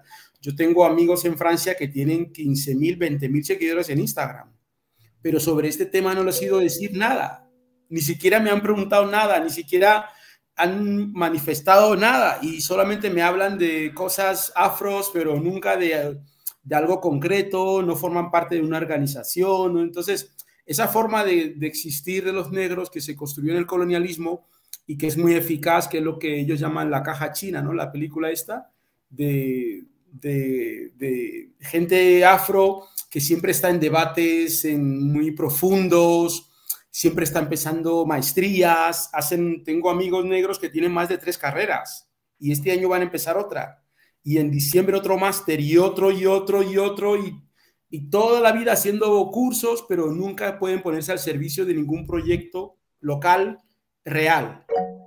Y, y eso, y eso cuando tú vas a cualquier parte de España, pero también de, Europa, cuando vas a cualquier parte, a, a Barcelona, Murcia, Sevilla, Madrid, Zaragoza, las personas negras que están al frente del quilombo siempre son las mismas no hay gente nueva, no hay gente que, haga algo, pero, esas, pero en las redes ves un montón de gente negra, pero cuando llegas a esa ciudad no les ves nunca. ¿Sabes? Cuando tú miras en internet en París, en Bruselas, en Ámsterdam, tú ves un montón de chicas que están haciendo no sé qué, que están en tal, pero cuando tú llegas a esos sitios para participar en algo, y, le llama, hermana, que estoy aquí en París para un acto. No, Aui, yo no estoy en eso, es que este Bunan Valle siempre está igual, es un tipo muy radical, solo habla de todo no sé qué, yo estoy en otro nivel. E, y esa, es, y esa forma de actuar, y que ya en la película de Django, siempre la comentamos aquí, hay una escena muy buena cuando los, los mandingas están peleando y uno mata a otro con, con un martillo. No sé si os acordáis esa escena de la película. Y entonces hay eh, una de las chicas que, que se corresponde con, con, lo que sería estas chicas de Instagram, va a la barra y le dice a Django, le dice, ¿cómo te llamas? Ella dice, dame champán francés. y entonces, lo que demuestra ahí el, el director, ¿cómo se llama? Este, ¿Cómo se llama el director de Django? Ah, eh, no recuerdo ahora el nombre del director. Eh, lo que, él, ¿eh? Demuestra el director es que históricamente los negros siempre han estado en lógicas de conocimiento profunda, pero en lógicas de desorganización, desmovilización, de lo que dice en Valle cuando eh, ha citado a Marcus Garvey la necesidad de organizarse. Si tienes negros que te citan la tesis doctoral, se sabe en la Biblia, se sabe en el Corán, pero a la hora de la verdad, cuando tú entras en el mundo islámico, o la Iglesia Católica, el papel de los negros es marginal, a pesar de que no sabemos el Corán y la Biblia de memoria. Nuestro papel en, el Vaticano es marginal y nuestro papel en Arabia es marginal, en la Meca. No tenemos ningún papel que no sea marginal porque eh, se trata de, de, participar. Por ejemplo, hay gente que viene a estas clases un día, luego desaparece, vuelve, y cuando ya pierde su novio, vuelve otra vez, cuando pierde su trabajo, vuelve, cuando sabes, esta forma de vivir de los negros es, en todo el mundo, no es solo en Argentina, ni en Perú, ni en Chile, ni en Ecuador. Es decir, los negros participan de la lucha porque ha perdido su trabajo. Si es guineano, porque Obiang le echó de su, trabajo y se acuesta con su hermana, pero a él no le dan un cargo. Entonces se cabría y dice, ah, estoy contra Obiang. Luego cuando vuelve a recuperar su trabajo, vuelve otra vez, entonces aparece, va, viene. Esa es la, esa es la forma típica de los negros de hace más de 5.000 años. En la Biblia está. Está en la Biblia cuando, eh, no sé si es en, eh, creo que es en eh, Lucas 13, cuando cuando Jesús se va a unos tipos a, con su padre a una boda de Segesmaní y entonces él describe que había unos tipos bailando de una forma que se corresponde con el hip hop y con el rap de hoy, ¿no? Según describe, ¿no?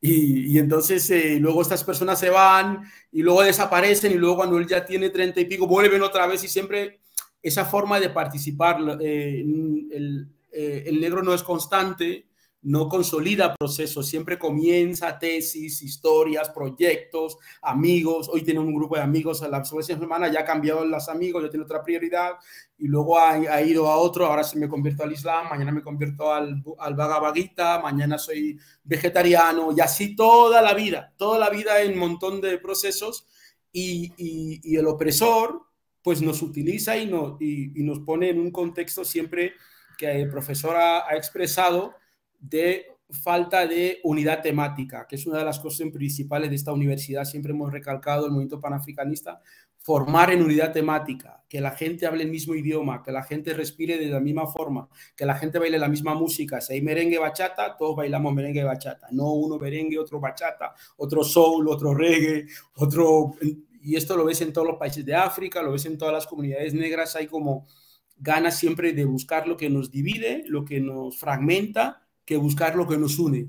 Y eso tiene que ver con el liderazgo. Por eso eh, agradezco mucho al compañero de Francia esta capacidad de darnos esta narrativa. Yo creo que ha sido una clase muy importante, pero sobre todo no tanto para denunciar a la élite y, a los, y a los empresarios, sino para organizar a los negros. Porque los negros se pasan toda la vida denunciando, eh, he visto a Jesucristo, he visto a, no sé quién, todo ese tipo de discursos apocalípticos de fin del mundo, pero no hay organización. Y cuando tú llegas a Nariño, ¿a quién encuentras ahí? A Nila.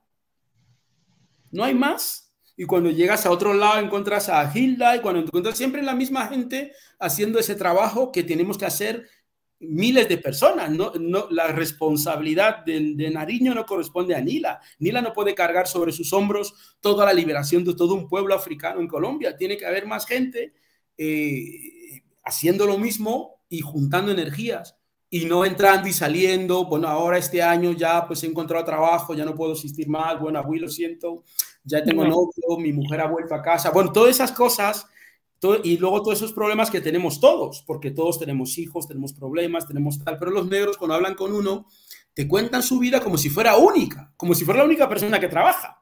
Hitler, Mussolini, Franco trabajaban y tenían tiempo para mataros, para hacer genocidio. O sea, no son los únicos que, el, negro no es el único que sufre, los palestinos sufren, los judíos sufren, mucha gente sufre, no somos los únicos nosotros que estamos siempre de victimismo contando nuestros problemas como si fueran los únicos que existen. Lo que necesitamos es, como ha dicho el compañero, es unificar nuestra lucha en torno a la organización. Chatear está bien, pero organizarlo está mejor. Y bueno, eso ha sido muchísimas gracias, agradecer muchísimo tanto a la coordinadora del curso, a la compañera Leticia por habernos dado la oportunidad de, traer a, este camarada y también eh, a, todo el debate que ha habido. Así que doy eh, cedo la palabra para que eh, sigamos el debate con otros compañeros que tienen la mano levantada.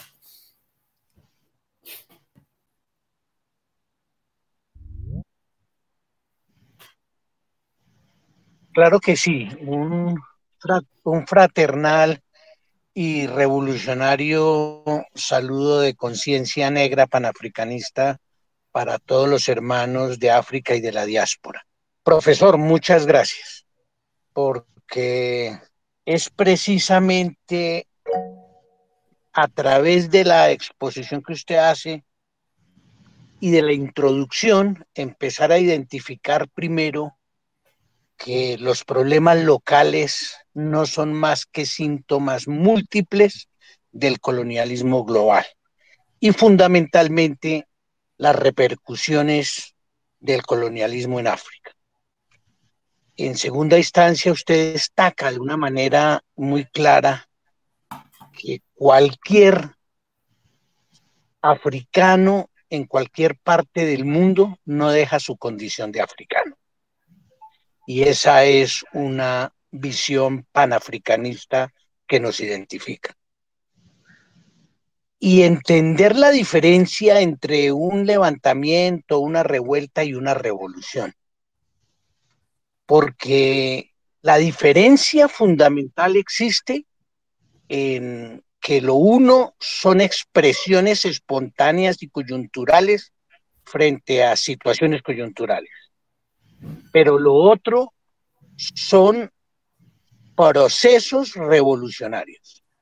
Cuando hablamos de un proceso revolucionario, entonces entendemos que ello conlleva mínimo tres elementos que usted ha destacado de manera clara.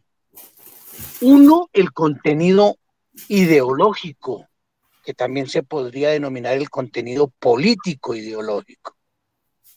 Para nosotros, los panafricanistas, el contenido ideológico es fundamental, como usted lo ha planteado, que es una sola África libre, un solo pueblo africano. Y, una, y cuando hablamos de una sola África libre, tenemos que estar hablando de que la libertad requiere las condiciones del entorno y del individuo para el desarrollo pleno. Así pues que es muy importante lo que usted plantea cuando se habla que nuestro objetivo es el desarrollo pleno de las facultades del hombre africano. Sí. Ese es el eje fundamental, el objetivo fundamental, la libertad plena de África, una sola África, un solo pueblo negro. Pero además es importante destacar que para ese proceso revolucionario, además del concepto ideológico, se requiere la organización.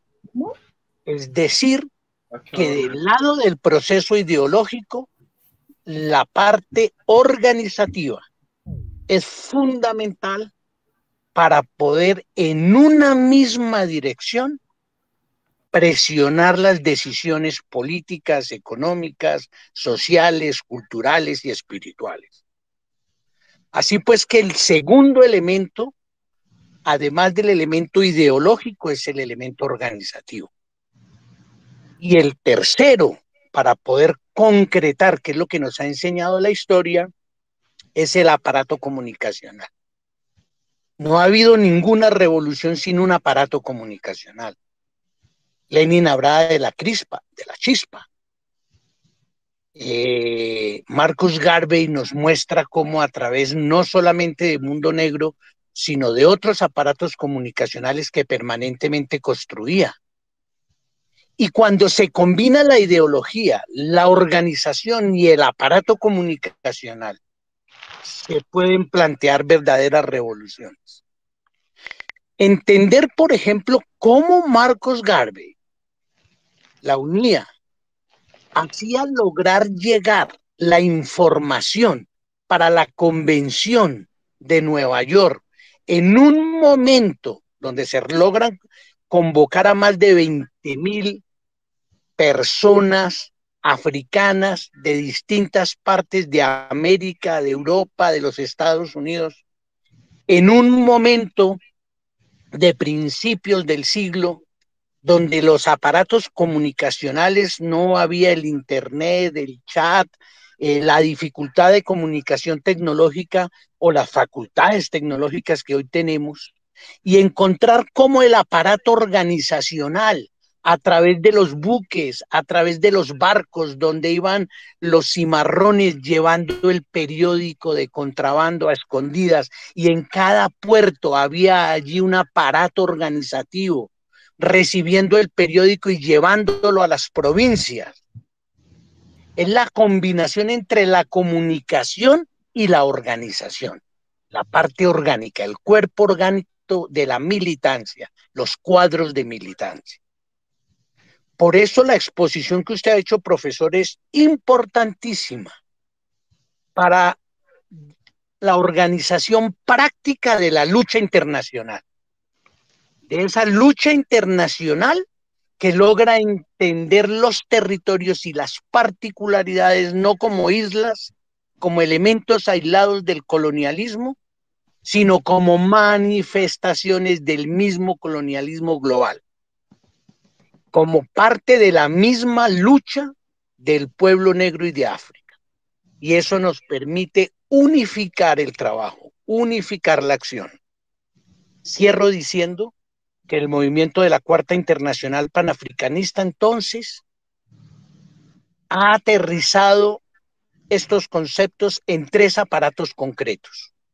Uno, la Universidad Marcos Garvey para la formación ideológica, los cuadros de formación, que para el 2030 aspiramos a tener los primeros 2.000 cuadros de base esparcidos por el planeta como meta fundamental, orgánicos, organizados y con militancia.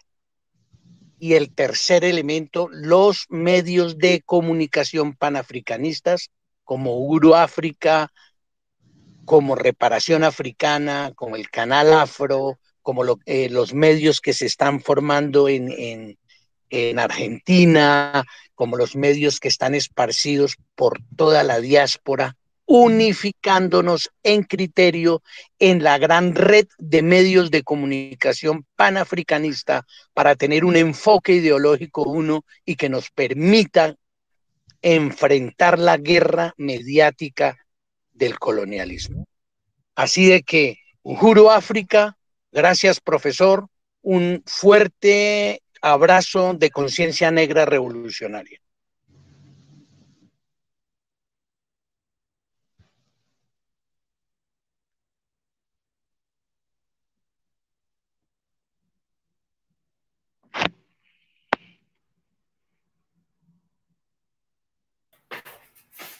Sí, Leticia.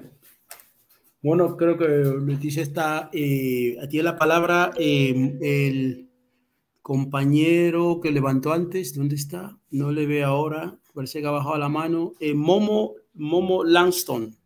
Tiene la palabra Momo Langston. Eh, sí, presente ese compañero y adelante. Hola, hola a todos. Ah, yo soy Momo Langston, yo soy de Senegal y uh, soy uh, aquí porque Buna es mi amigo y hemos hecho la misma universidad. Y gracias a todos por las presentaciones. Perdona mi nivel de español porque yo soy, porque yo soy francófono, ah, pero ah, todas las presentaciones fueron ah, muchas, muchas buenas. Pero yo tengo una pregunta por, por Buna, una pregunta, um, una pregunta crítica. Ah, cómo internacionalizar, en tu opinión, la lucha para que ah, los pueblos de África, de Senegal o otros pueblos africanos y los pueblos negros en todo el mundo puedan como, como aceptar que la lucha es cualquier cosa que debe ser común, comuna. Porque uh, el ha, ha, dicho que una cosa importante. aquí en Senegal, las personas no necesariamente ah, conocen a los problemas de otros negros en, la diáspora, pero todos ah, los problemas son ah, iguales y debemos conocer eso. Eh, pero, ¿cómo hacer que la lucha, en tu opinión, sea internacionalizada? Gracias.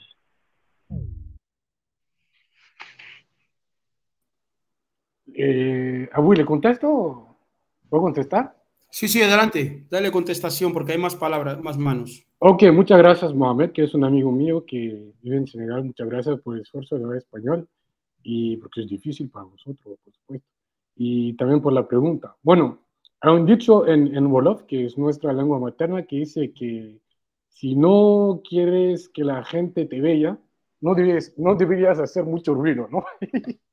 Entonces, hay unas estrategias que no podemos tener en público, ¿no? Porque el enemigo está escuchando, ¿no? Y no, tampoco tengo las fórmulas milagrosas para resolver los problemas eh, globales, pero creo que una ah, parte de la respuesta sería, eh, bueno, multiplicar ese tipo de plataformas, ¿no? Donde tenemos la oportunidad de comunicarnos con hermanos y hermanas de Guatemala, eh, de Honduras, eh, de Chile, Argentina, del mundo hispano, ¿no?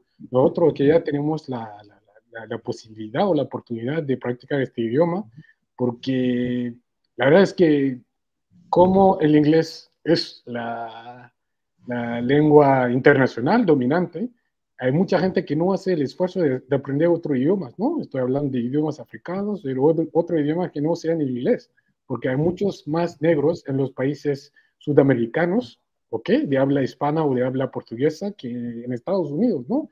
Que sigue siendo el, el, el, el corazón, como quien dice, ¿no? De la lucha negra internacional. Eh, entonces creo que nosotros debemos eh, multiplicar esas oportunidades de comunicarnos eh, con eh, gente como el profesor Fidel que ha hablado y que agradezco, eh, con ABU y la Cuarta Internacional y todos los movimientos panafricanistas progresistas que existen. Porque uno de los obstáculos, y Malcolm X lo, Malcolm X lo había mencionado en su, en su memorándum eh, a la, a la, a la OUA, ¿okay? a la Organización de la Unión Africana, es el dolarismo. ¿ok? Porque hay muchas luchas que han sido cooptadas por el sistema, ¿ok? Eh, ahora, hoy, de, hoy en día hay muchos, muchas organizaciones negras que están financiadas por la Fundación Ford.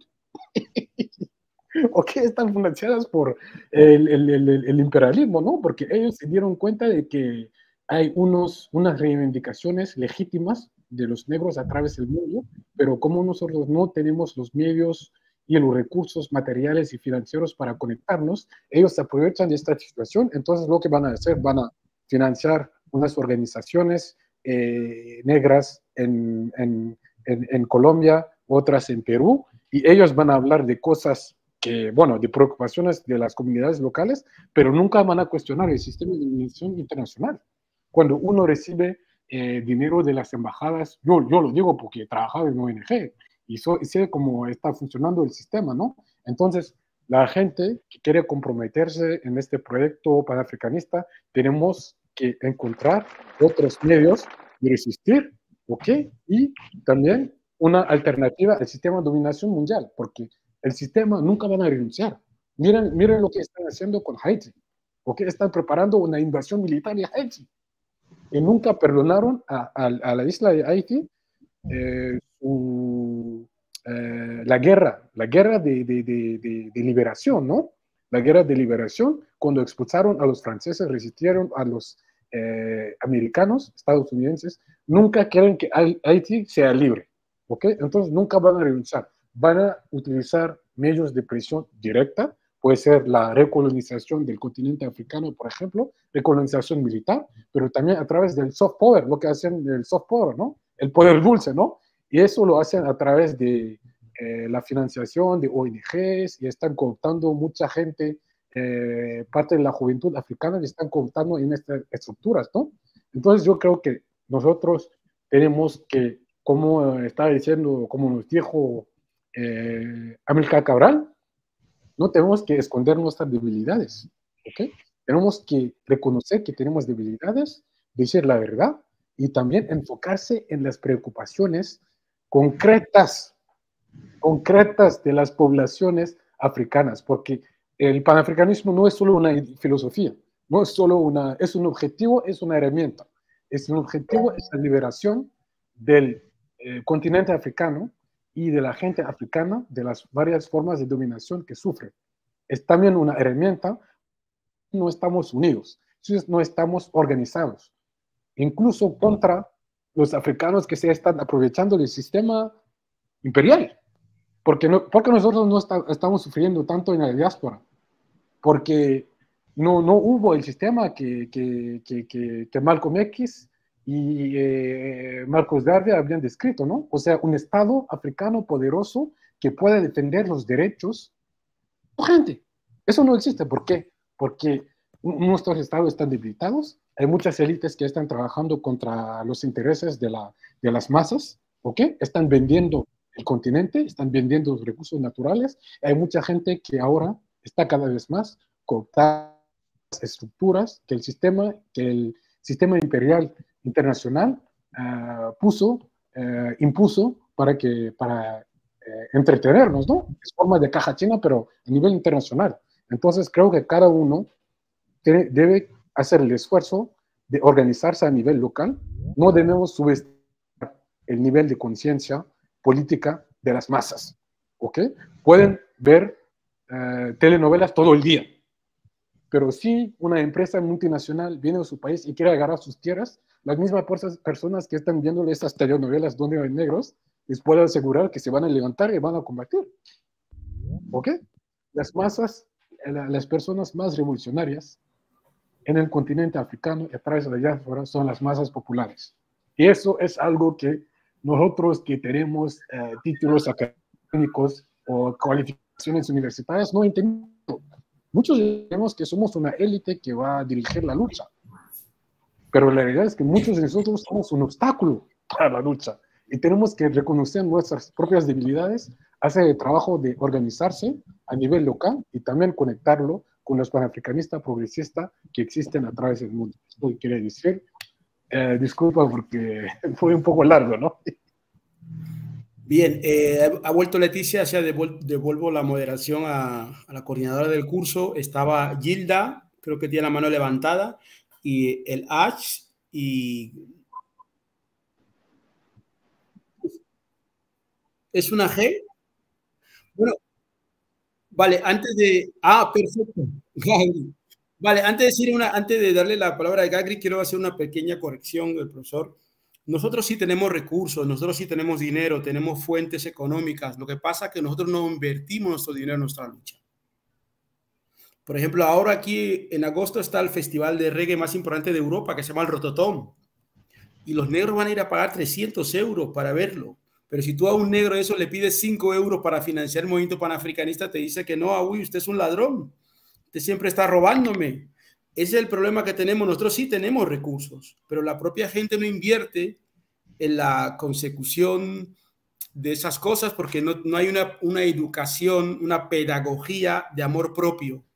La gente invierte para un máster, la gente invierte para viajar a no sé dónde, pero nunca para consolidar el poder local, que es el que le dignifica. Y entonces cuando tiene un problema dice, ah, pero ¿qué hacen los movimientos negros? Pero ¿y usted cuando ¿Cuándo usted metió un, dólar o un, euro para la causa? Y esa es, esa es muy importante, por eso nosotros siempre eh, con el profesor Umbolo, con Fidel, con Leticia y con la, dirección de la Cuarta Internacional, siempre tratamos de enfocar los, eh, el, el, esfuerzo personal local. O sea, gente que habla de muchas teorías en Júpiter y todo eso no nos interesa porque esa gente desaparece al día siguiente. Viene con grandes teorías, grandes... Al día siguiente no viene más. Entonces, es mejor el que, el que pone un euro y se mantiene día a día o cero céntimos porque eso es lo que permite consolidar un proceso. Porque si tú le pones dinero a tu propia causa, significa que tú le puedes poner dinero a lo tuyo. Pero si tú, si, si, la gente africana no invierte en su propia liberación, eh, nadie va a liberarnos. Bob Marley lo decía, emancipe yourself from mental slavery. Y, y eso tiene que ver con que los africanos, los, los negros sí tenemos dinero. Hay futbolistas con mucho dinero, hay deportistas con mucho dinero, hay artistas con mucho dinero, hay gente que está aquí en este mismo grupo que tienen dinero, pero tener dinero no es, no es mucho, o sea, tener un euro para meter en la, en la, en la cosa. Ahora estamos recaudando 20 mm, euros para, para hacer una, una escuela de, de otoño en Barcelona y en el grupo de Barcelona tenemos mil personas y solamente han puesto cuatro. Pero están todo el día chateando, hablando de Francia, de Inglaterra, de... pero si viene alguien de Japón, de Júpiter, de Venus, Saturno, le pide dinero, se lo dan porque viene de Júpiter. Pero lo que tiene que ver con su propia lucha local, no se nos ha educado a valorarnos. Y esa autovaloración, por eso nuestra formación política es, no es solamente dar discursos, sino cohesionar, una cohesión. Y entonces tenemos grupos de WhatsApp donde entran personas, como una vez vino uno al grupo de Argentina, entonces trató de deslegitimar el proceso, al mismo tiempo nos pedía ayuda. Entonces nosotros no entendíamos nada. ¿Cómo tú puedes decir que esto es una mierda, pero ayúdenme a la candomble? Entonces era como una contradicción, pero esa contradicción es general, no es solo en Argentina, es algo muy general en el mundo del negro. Te dice, en Valle no hace nada, pero ayúdame. en Valle, si en Valle no hace nada, ¿cómo te va a ayudar? Esa, contradicción tiene que ver con la, con la parte educativa. Sí tenemos dinero, sí tenemos recursos. Y, y, eso es muy importante que cuando en el Festival Rototom se murió ahogado un chico senegalés, el Festival Rototón se negó a expatriar a ese chico porque no tenía seguro cuando compró su ticket.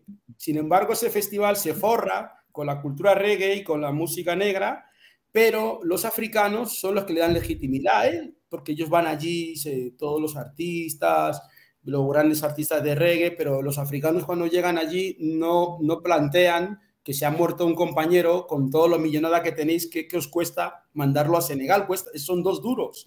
Pero hasta en ese contexto, el festival es eh, de alguna forma coherente, porque nadie va a montar, nadie se ha hecho rico si no es explotando a los africanos. si yo dejo de explotaros, ¿cómo no voy a hacerme rico? Entonces, la lógica, eh, por eso insisto que no, no centremos mucho la atención en la crítica social de lo malo que está el mundo, sino en la capacidad que nosotros tenemos de transformarlo, que es muy grande. Adelante, eh, compañera, eh, perdona, que eh, estaba la compañera de... Bueno, muchas gracias. Muchas gracias a todos, al profesor Buna por, por, la charla y porque, bueno, a lo largo de, lo, de lo que él ha ido expuesto y ha mostrado gráficos, ha sido, la verdad, muy ilustrativo y muy didáctico, como docente lo digo también, eh, se, entiende muy bien y, pude relacionar en una forma totalmente directa también con la situación que nosotros padecemos acá, las comunidades afro, las comunidades negras en Argentina. Particularmente yo estoy en Corrientes, es una provincia que está al norte de la Argentina, limitando con Paraguay, Brasil, Uruguay, en esa zona, digamos, hacia el occidente, eh, perdón, hacia el oriente de la, del mapa Argentina, digamos. Y ahí eh, nosotros, las familias eh, de negros, nos hemos conformado como cofradías, antigua, antiguamente.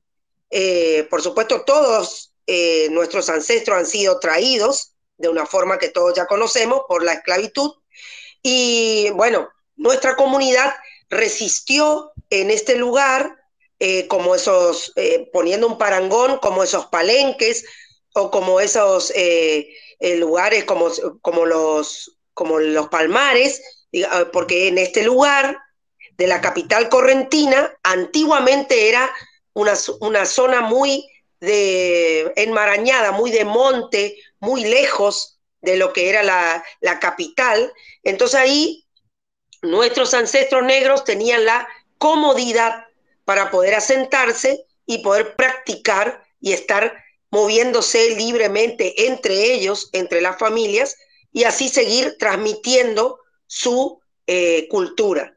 Es así que a nosotros, hago esta reseña para todos los compañeros que no son de Argentina, son de otros lugares, para que se entienda cómo, se, cómo nosotros aquí en este este lugar del mundo, mantenemos nuestra cultura y nuestra negritud con, la, con una fiesta que, que tiene que ver con el santo católico, que es San Baltasar, que bueno, nuestros ancestros los separan de los otros dos reyes, de Melchor y de Gaspar, los separan de los reyes blancos y solamente toman la figura del rey, justamente rey negro, para poder allí con, esta figura, eh, ellos poder expresar, entre comillas, su libertad y poder tocar los tambores y poder celebrar eh, en forma libre.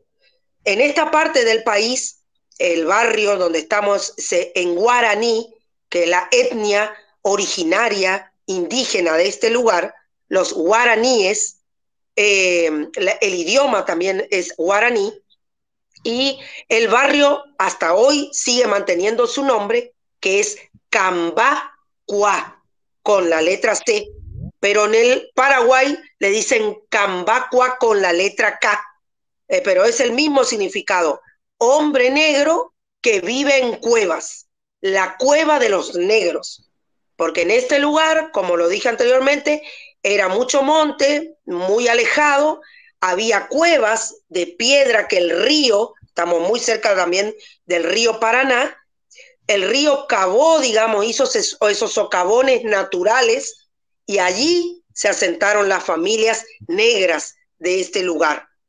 Bueno, nosotros hace 30 años que venimos militando, eh, desconocíamos esta parte que por la hora que yo agradezco a Leticia, al profesor Abuy, que, que, hemos, nos hemos conocido por un hecho particular que la comunidad ahora está recibiendo eh, racismo por un hecho eh, del carnaval, porque acá el carnaval es muy importante. Y se borró toda la parte negra que tiene mucho que ver por la música, los tambores, el ritmo es del negro, la base, la matriz del carnaval, y una, eh, una chica, una chica perdón, blanca utilizó el blackface se pintó toda de negro para representar a la comunidad. Entonces yo en representación de las familias y de la comunidad negra que de a poquito van despertando la mente, porque cuesta mucho, como dijo el, profesor Buna, no, si no querés tener problemas, no haga ruido. Generaciones y generaciones nos han mantenido el bozal, nos han seguido e imponiéndonos de que nos callemos, que no nos metamos en problemas, que no, que no vamos a hacer lío. Pero esto no es un lío ni es un problema. Si nos están atacando y nosotros conocemos que lo que hizo esta mujer está mal y solamente le pedimos que se retracte con la comunidad, porque nosotros en, nuestra, en nuestras familias tenemos gente que ha muerto por represión policial, por discriminación, porque los han golpeado en las escuelas, porque le han maestros y maestras que han golpeado a esos niños y niñas diciéndole ustedes no van a tener la bandera, ponele, para ser abanderado, para tener ese honor de llevar la bandera argentina, diciéndole no van a tener nunca la bandera porque son negros y una de esas niñas a los 21 años se quitó la vida por discriminación y por racismo. Entonces todo eso pesa sobre mi espalda y sobre las espaldas de nuestra comunidad. Y, y, bueno, y, para no salirme tanto del tema y eh, interiorizarlo al profesor, de que acá nosotros estamos también eh, luchando contra la discriminación, contra el racismo, hemos tenido un, avance mínimo, pero hemos seguido, tenemos que seguir ganando terreno en la batalla porque lamentablemente, como dijo el profesor también, eh, los, los medios de televisión, de gráficos, radio, eh, todo lo que tenga que ver con la prensa está cooptado por la élite. Acá en Corrientes se sigue manteniendo las clases, las castas. Entonces, la, la élite, eh, digamos, más preponderante económicamente y que tiene acceso a esa masiva propaganda, no quiere que los negros se, se, se, mm, manifiesten y, digamos que estamos en desacuerdo con muchas cosas. Entonces a mí me siguen poniendo el bozal. Eh, perdona, es que se nos va la hora. ¿Qué pregunta tienes para Valle? Porque es la conferencia de qué pregunta tienes para él. Es que si no vamos a acabar dentro de poco. Hazle una pregunta a él, al profesor, y otro día hablamos un tema monográfico sobre Argentina, pero hoy estamos hablando de Francia. Le una pregunta para que él pueda contestarnos o a ti. Es que si, si no se nos va la hora, estamos a punto de terminar. Bueno, sí, sí, la pregunta es solamente lo, reforzar, reforzar lo que dijo el compañero anteriormente, de que nosotros eh, tenemos que seguir avanzando y cómo poder em, seguir despertando la conciencia de, de los otros hermanos para que se unan efectivamente a la causa panafricanista y lograr de, o sea, eh, la pregunta es, ¿cómo poder hacer para que los hermanos se unan a la, causa panafricanista? Exacto. sí, sí, bueno, disculpen, disculpen el tiempo, pero para poder eh, ponerle contexto al hermano. No te preocupes, hermana, como usted lleva mucho tiempo sin venir, esta es una clase, no es un grupo sí, de... Sí, sí, gracias, gracias. Hay que tener una unidad temática en torno a la temática del día y es Francia, Valle. La próxima semana tenemos un monográfico sobre el rastafarismo y la lucha en América Latina. Entonces hay que estar pendiente de la temática porque el compañero pueda darnos para que nos formemos, porque el próximo año estaremos todos aquí en Madrid en la cumbre mundial panafricanista y esto es todo es un ensayo de cara a eso. Muy bien, muchas gracias. gracias. No, no, no, tranquila. Lo quito más, lo quito más el tiempo y Adelante, adelante los compañeros. Gracias. Bueno, primero, muchas gracias por su testimonio, eh, Gaby. Siempre es bueno eh, saber de las otras comunidades detrás del mundo, ¿no? Sobre todo en, en América Latina, o Sudamérica, para ser más preciso. Eh, con respecto a su pregunta, no sé si, como he dicho antes, ¿eh? no sé si tengo fórmulas milagrosas para resolver ese tipo de problemas. ¿no? Yo creo que nosotros tenemos que ser un poco, yo diría cabralista, ¿no? Porque, porque Cabral fue tan original en nuestra lucha, tan precioso en nuestra lucha, es que él tiene la capacidad de conectar la, la, el contexto local, ¿ok? Con las dinámicas globales. ¿Qué hizo Cabral cuando antes de arrancar la lucha armada en, Guinea-Bissau y Cabo Verde.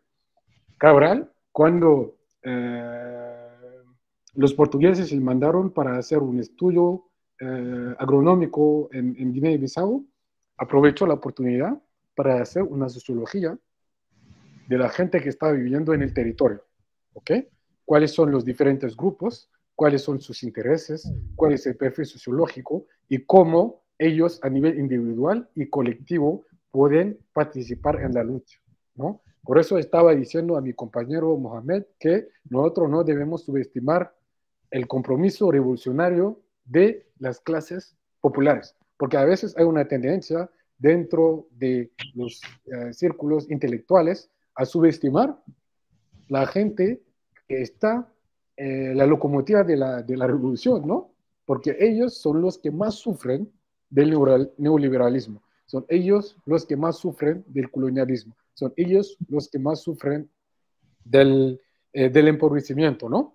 Entonces, cuando digo que tenemos que ser cabralista, tenemos que conocer nuestro contexto muy bien. Yo, por ejemplo, en el caso de Francia, creo que tengo mucha, mucho que aprender, porque aquí la comunidad eh, negra y africana está dispersa con intereses y y perfiles sociológicos, étnicos, lingüísticos diferentes, ¿no? Entonces, el trabajo que nosotros, panafricanistas en Francia, es conocer nuestra comunidad, porque a veces, creo que en Argentina sería diferente, porque, bueno, hay, hay similitudes, por ejemplo, que existen acá, por ejemplo, estoy suponiendo, ¿no? No sé, pero el problema es que nosotros a veces hablamos en nombre de una comunidad que no conocemos.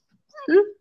Eso es lo que pasa en nuestra lucha. Entonces, hay algunos militantes que están totalmente desconectados con el resto de la comunidad. ¿Okay? No estoy sugiriendo que esto, esto pasa también en sus contextos, pero creo que el trabajo que nosotros debemos hacer es conocer muy bien nuestra comunidad, cuáles son sus intereses, eh, cuál, es su, cuál es su posición con respecto a la revolución o, o a la lucha anticolonial, porque no, son, no todos son progresistas hay muchos reaccionarios, ¿no? Hay gente que se, cree, que, eh, que se quiere aprovechar del sistema imperial. Ahora, y voy a concluir con eso, el gobierno está dando mucho dinero, ¿ok? Por eso dije que no teníamos, teníamos mucho dinero, porque es muy difícil competir con ellos, ¿ok? Porque Macron les va a proponer cientos de millones de euros a la juventud afro que quiere formar parte del, del programa de recolonización del continente, con unos puestos, si les digo el salario, creo que eh, tal vez hay algunas personas que van a postularse, ¿no? Porque es muy atractivo. Entonces, dentro de nuestra comunidad, no todos son panafricanistas, no todos tienen interés con el panafricanismo.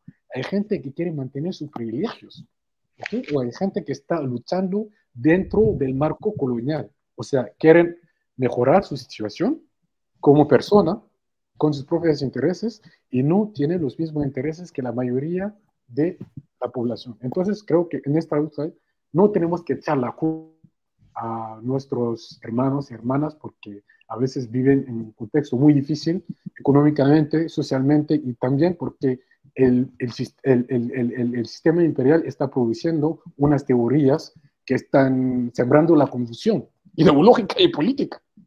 Por eso estamos tan desorganizados, porque esta desorganización está organizada por el sistema. Entonces, a veces yo no le echo mucho la culpa a mis hermanos y hermanas, porque sé el contexto es muy difícil, pero también tenemos que identificar quién quiere dedicarse a la lucha, cuáles son sus intereses, cuáles son sus objetivos. Aquí, alguien que está luchando solo para mejorar su situación como ciudadano francés? No me interesa, ¿ok? Si quiere luchar, lo puede hacer, pero yo tengo una perspectiva panafricanista, porque creo que estoy convencido de que si África no está libre, nosotros no vamos a tener respeto que merecemos, ¿ok? Entonces, tenemos que identificar quiénes son las personas que están comprometidas a hacer el tipo de cambio que nosotros necesitamos, no solo el cambio que ellos quieren para su propio interés. Y perdón por la respuesta bastante larga, ¿no?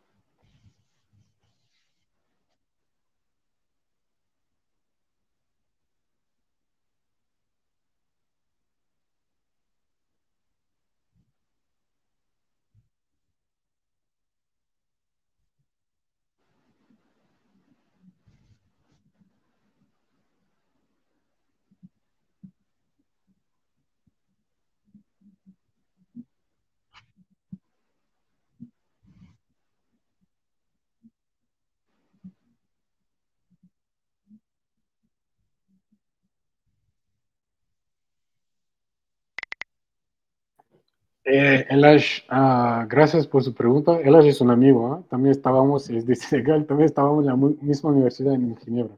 Es una pregunta muy importante y estoy de acuerdo con la última parte de su, de su, de la conclusión que hace, que hay gente que quiere eh, eh, ponerse al lado de sus hermanos de religión más que eh, sus propios hermanos de sangre, ¿no? Pero creo que tenemos que analizar, el, el, y ahí no voy a tener el tiempo para responder, pero creo que hay que tomar en cuenta los factores históricos, sociológicos y políticos. Y cuando digo eso, no es algo muy abstracto. Les voy a dar ejemplos muy concretos. ¿Ok? La lucha para liberar el continente africano del, del colonialismo, hubo musulmanes, ¿ok? Gente que, que, que, que luchó ¿ok? Porque tiene una interpretación del Islam, ¿ok? Que, eh, les, que consideraba que la lucha era necesaria desde un punto de vista religioso, ¿no? Porque nosotros a veces hacemos el error de interpretar la religión según eh, el análisis marxista, ¿no? Algunos marxistas que dicen que la religión es el opio de las masas y es una distracción eh, para que la gente, es como una caja china, ¿no? Para que la gente no se comprometa en la lucha pero hay que ver los acontecimientos históricos. Hubo históricamente unos líderes religiosos que se comprometieron en la lucha porque tenían una interpretación de la religión que les obligaba a luchar. ¿ok?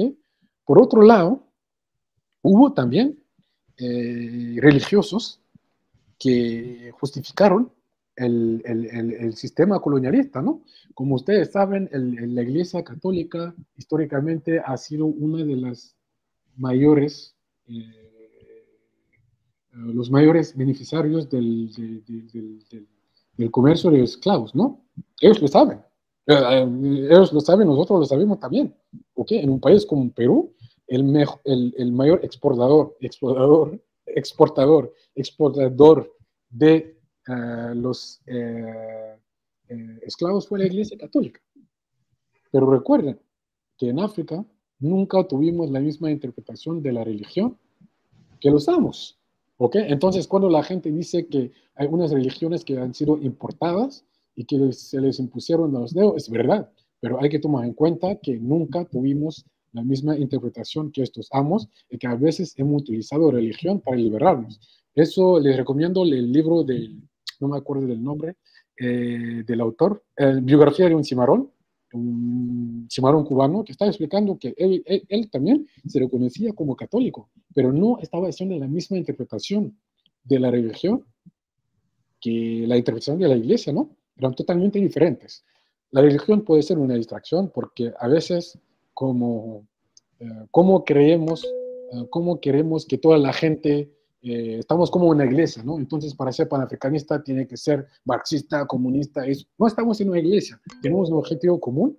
Puede haber musulmanes, cristianos, judíos. Y yo les voy a dar un ejemplo para concluir. Mi hija tiene tres nombres, ¿no? Cuatro nombres. Un nombre es de una, una luchadora musulmana, una luchadora. Ah, ahí está, biografía en marrón. Gracias, eh, Fernando una luchadora uh, judía, Ruth First, que fue asesinada por el régimen de apartheid en 1982, una ah, protestante, Harriet Tubman, y una musulmana, Betty Shabazz. ¿ok? Betty Shabazz y Harriet Tubman eran gente muy religiosos, pero pusieron su religión al servicio de la lucha uh, panafricanista.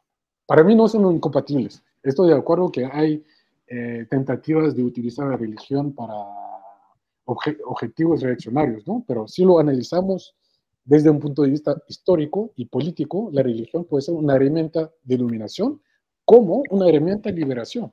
¿ok? Entonces nosotros tenemos que juzgar por los actos, ¿ok? por los hechos. ¿Qué hacen? No solo lo que dicen, porque si nosotros como no, no tenemos que hacer los errores de los marxistas, ¿ok? Porque los marxistas llegaron a, al continente con una ideología militante, ateísta y que, eh, que estaban combatiendo las religiones. Pero la, las masas populares, la gente sigue, seguía siendo muy religiosa. Entonces había una, una discrepancia entre lo que ellos decían sobre el papel de la religión y lo que el pueblo estaba aplicando. Espero que la respuesta sea bastante clara.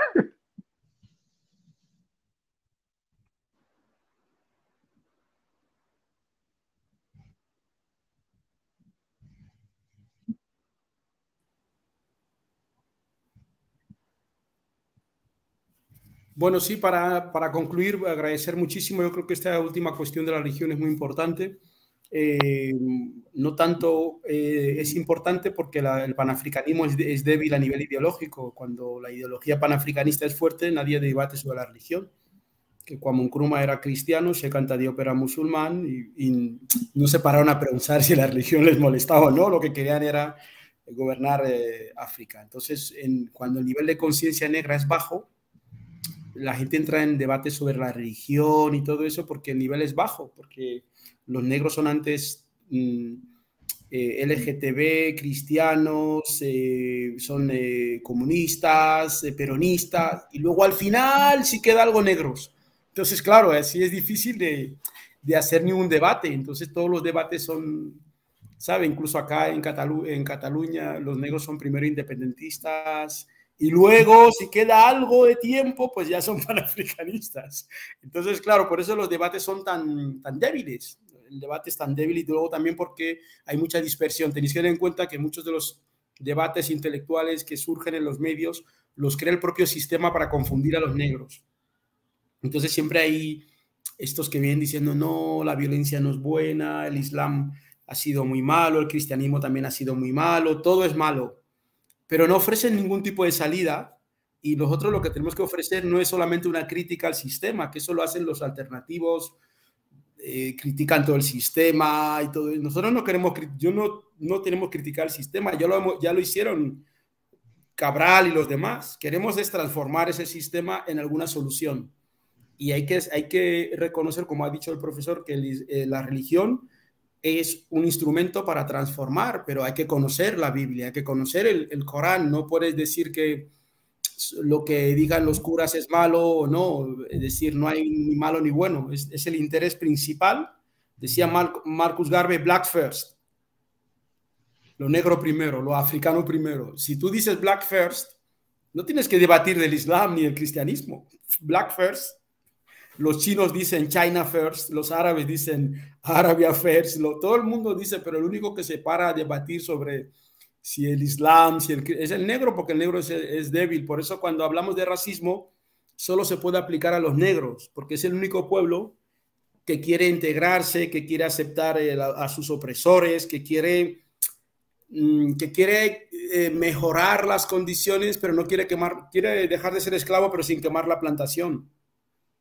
Y los curas han venido como misioneros, como aliados del imperialismo. Los árabes han venido con el Islam para dominarnos, para destru destruir nuestra, para dominarnos, pero como dice el profesor, había la interpretación de Marcus Garvey sobre, o de Rastafarismo sobre Dios, no tiene nada que ver con la de sus opresores.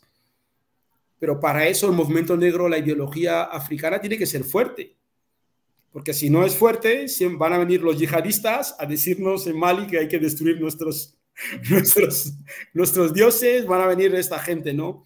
Bien, la próxima semana, sabes que estamos en el mes de Marcus Garvey, vamos a tratar de hacer un, eh, vamos a traer un debate sobre la cuestión de, de, Marcus Garvey y tal, porque estamos en el mes de agosto y es donde vamos a conectar estas, eh, estos debates. Para, para poder en, eh, conectar con la clase tenéis que ir documentándose los grupos y la información que Leticia va, a enviar.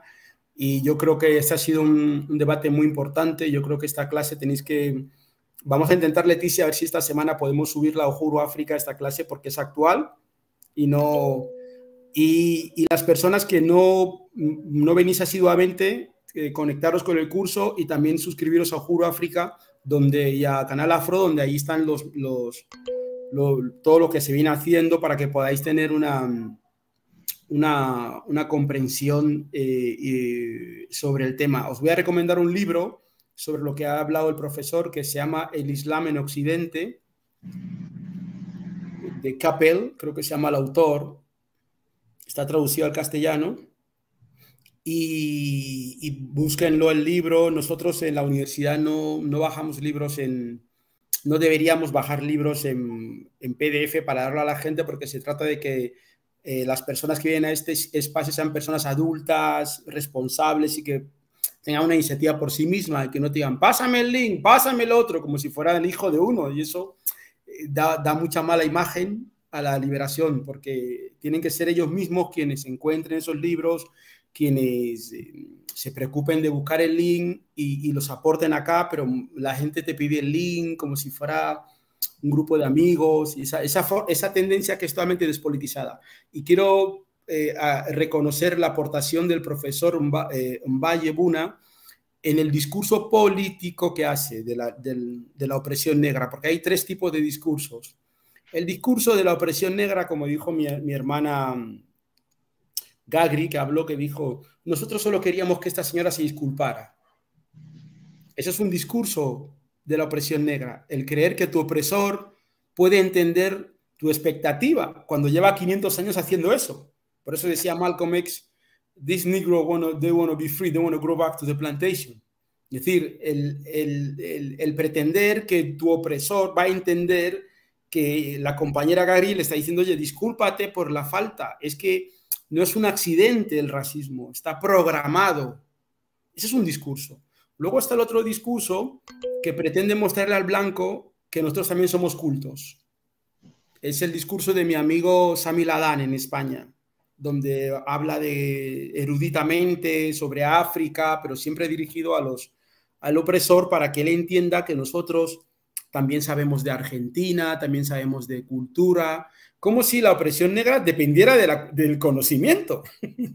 porque si fuera así, ya seríamos libres, porque el mismo Lito está haciendo un, un doctorado, el, el, otro está haciendo un máster, o sea, ya seríamos, ya Lito sería libre, no, no estaría aquí, porque como está haciendo un estudio, si fuera por el conocimiento. Y luego está el discurso que ha hecho el profesor eh, eh, Buna, que es aquel que pretende politizar nuestra opresión. ¿Vale? Es decir, a, a, a pesar de, del esfuerzo de que esta señora de Argentina nos pida perdón por el blackface, a pesar del conocimiento del doctorado que está haciendo Lito, quiero politizar mi causa, mi discurso, no me voy a conformar con que me pida perdón ni con que me den un doctorado. Quiero politizar mi causa. Quiero que la cuestión negra sea un problema político que se debata y no una solución para el, el Parlamento de Buenos Aires o de Malabo o de, o de donde sea, ¿no? Entonces, esos son tres niveles de discurso que hay en, los en, en, en el espectro público y que obviamente el de Valle es minoritario, lo siento. los otros dos son mayoritarios porque es donde se maneja el colonialismo. El colonialismo ha, ha entendido que no hace falta eh, encarcelar a los negros, solo tienes que encontrar negros cultos y hacerles ver que, y hacerles que hablen en público en nombre de su gente, pero sin politizar el, el problema, sin generar un problema político. Por eso esas, esas, eh, esas becas que dan a los estudiantes, les dan proyectos para que hagan, de la Fundación Ford, todo eso trabaja así para que la gente entienda que mi problema no es político. ¿Qué es un problema político? Un problema político es un problema colectivo. Por eso ves que cuando alguien comienza a hablar, dice, ah, nosotros, nosotros los negros en Venezuela, nosotros los negros en Argentina, nosotros los negros en España, creyendo que es una realidad aislada. Y yo digo por conocimiento que he, recorrido Chile, Ecuador, Venezuela, Argentina, Bolivia, eh, Guinea, y he visto siempre lo mismo. No he visto la diferencia en Colombia con, Cuba, y son dos, sociedades con dos sistemas eh, políticos diferentes. Uno castrista comunista, otro capitalista, y los negros están igual de oprimidos en ambos países, igual. ¿Sabes? Pero cuando uno de un colombiano o un cubano te habla, te dice, no, compañero, acá en Cuba nosotros con Fidel tenemos una situación diferente, tú sabes. Pero es mentira, porque cuando tú, cuando tú profundizas es la misma situación que tiene Argentina, la misma que tiene en Guinea, la misma que tiene en Senegal y como ha dicho el compañero, nos ha retratado, la misma que hay en Francia. Las mismas cosas que él decía en Francia lo que hay aquí en España. La misma, los sindicatos policiales que están con mucho poder y que tiene, el gobierno los tiene. Lo mismo, lo mismo, simplemente que el compañero utiliza el lenguaje mm, eh, eurocentrista que llama inmigrantes en vez de negros y blancos. Entonces, con el lenguaje inmigrante es muy confuso, porque la gente no sabe de qué está hablando, pero cuando dices negros y blancos, la gente automáticamente entiende. Porque un alemán en Francia se supone que es inmigrante, pero es un extranjero. ¿Entiendes? Entonces hay, hay que hacer un control del lenguaje que nos sirva a nosotros para desmitificar esta despolitización.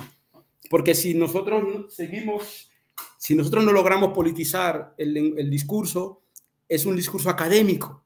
Y en la academia ya tenemos miles de negros en la academia y no hemos logrado cambiar nada. Tenemos millones de negros en la academia, tenemos miles de abogados negros que no logran sacar a nuestra gente de la cárcel. ¿Por qué? Porque sigue siendo un, planteamiento neocolonial, no es politizado. El abogado negro no quiere que le vinculen con los negros, Dice, no, Abuy, yo soy normal, estoy integrado, por favor, no me vincules con Valle, ni con Leticia, ni con Gagri, ni con nadie de esto, ni con Lito, porque ya yo, yo ya tengo el, el carnet del colegio de abogados, claro, pero entonces, ¿para qué nuestros padres nos mandan a estudiar, nos mandan a la universidad, nos mandan a formarnos si nosotros venimos a, integrarnos, a estar en la, en la, plantación con el amo y no a cuestionar ese orden internacional? Porque el, el, el africano, ¿por qué el Islam eh, se insertó en África y el cristianismo? Porque nadie cuestionó nada. Nadie, el negro no, el negro no cuestiona nada, ¿no? Todo lo que aparece de la escuela, todo lo que tenga que ver con una visión cartesiana escolástica, el negro le encanta. Tú ponle a un cartel curso de, y todo con, con que ponga curso, ya se matriculan todos. Curso para matar negros y se matriculan. O sea, y no se dan cuenta que es un curso para matar negros, pero como viene curso, eso es como que ya eh, el, también creemos que no somos lo suficientemente cultos, que la formación que tiene Leticia, que tiene Valle, que tiene Gagri, que tiene Lito, que tiene Lach, no es suficiente, que tenemos que hacer siete máster más, seis doctorados más. esto solo pasa en los negros un Bangladesh no sabe leer, pero monta su negocio y trabaja, le da empleo a su hijo. Y se casa su nieto. El negro, el negro acumula máster y doctorado y luego no tenemos empleo. y eso no es culpa, de, eso no es responsabilidad del blanco, de los opresores. Eso tiene que ver con nosotros. Eso tiene que ver con nosotros. Es decir, eh, eh, que nosotros no seamos capaces de, de sumar, por ejemplo, nosotros ahora estamos preparando la cumbre de Madrid hay que traer 200 delegados de todo el mundo del panafricanismo y eso implica un trabajo. Pero, ¿por qué nosotros tenemos que contratar a gente blanca para hacer un trabajo que los propios negros que están aquí presentes pueden hacer? Porque no hay fe suficiente en sus propias posibilidades. Entonces se pueden hacer otro máster, otro máster. Tengo amigos de verdad de Guinea Ecuatorial que tienen tres másters, hasta 10 carreras. Y entonces cuando tú le preguntas, brother, ¿para qué tanto conocimiento? Dice, porque así el blanco me va a respetar, porque el negro cree que todavía él no, él no tiene respeto, que necesita mostrarle al amo que es listo. Y la película de dos, 12 años de esclavitud también aparece, ¿no? Cuando el señor está tocando el violín mientras que están vendiendo las hijas.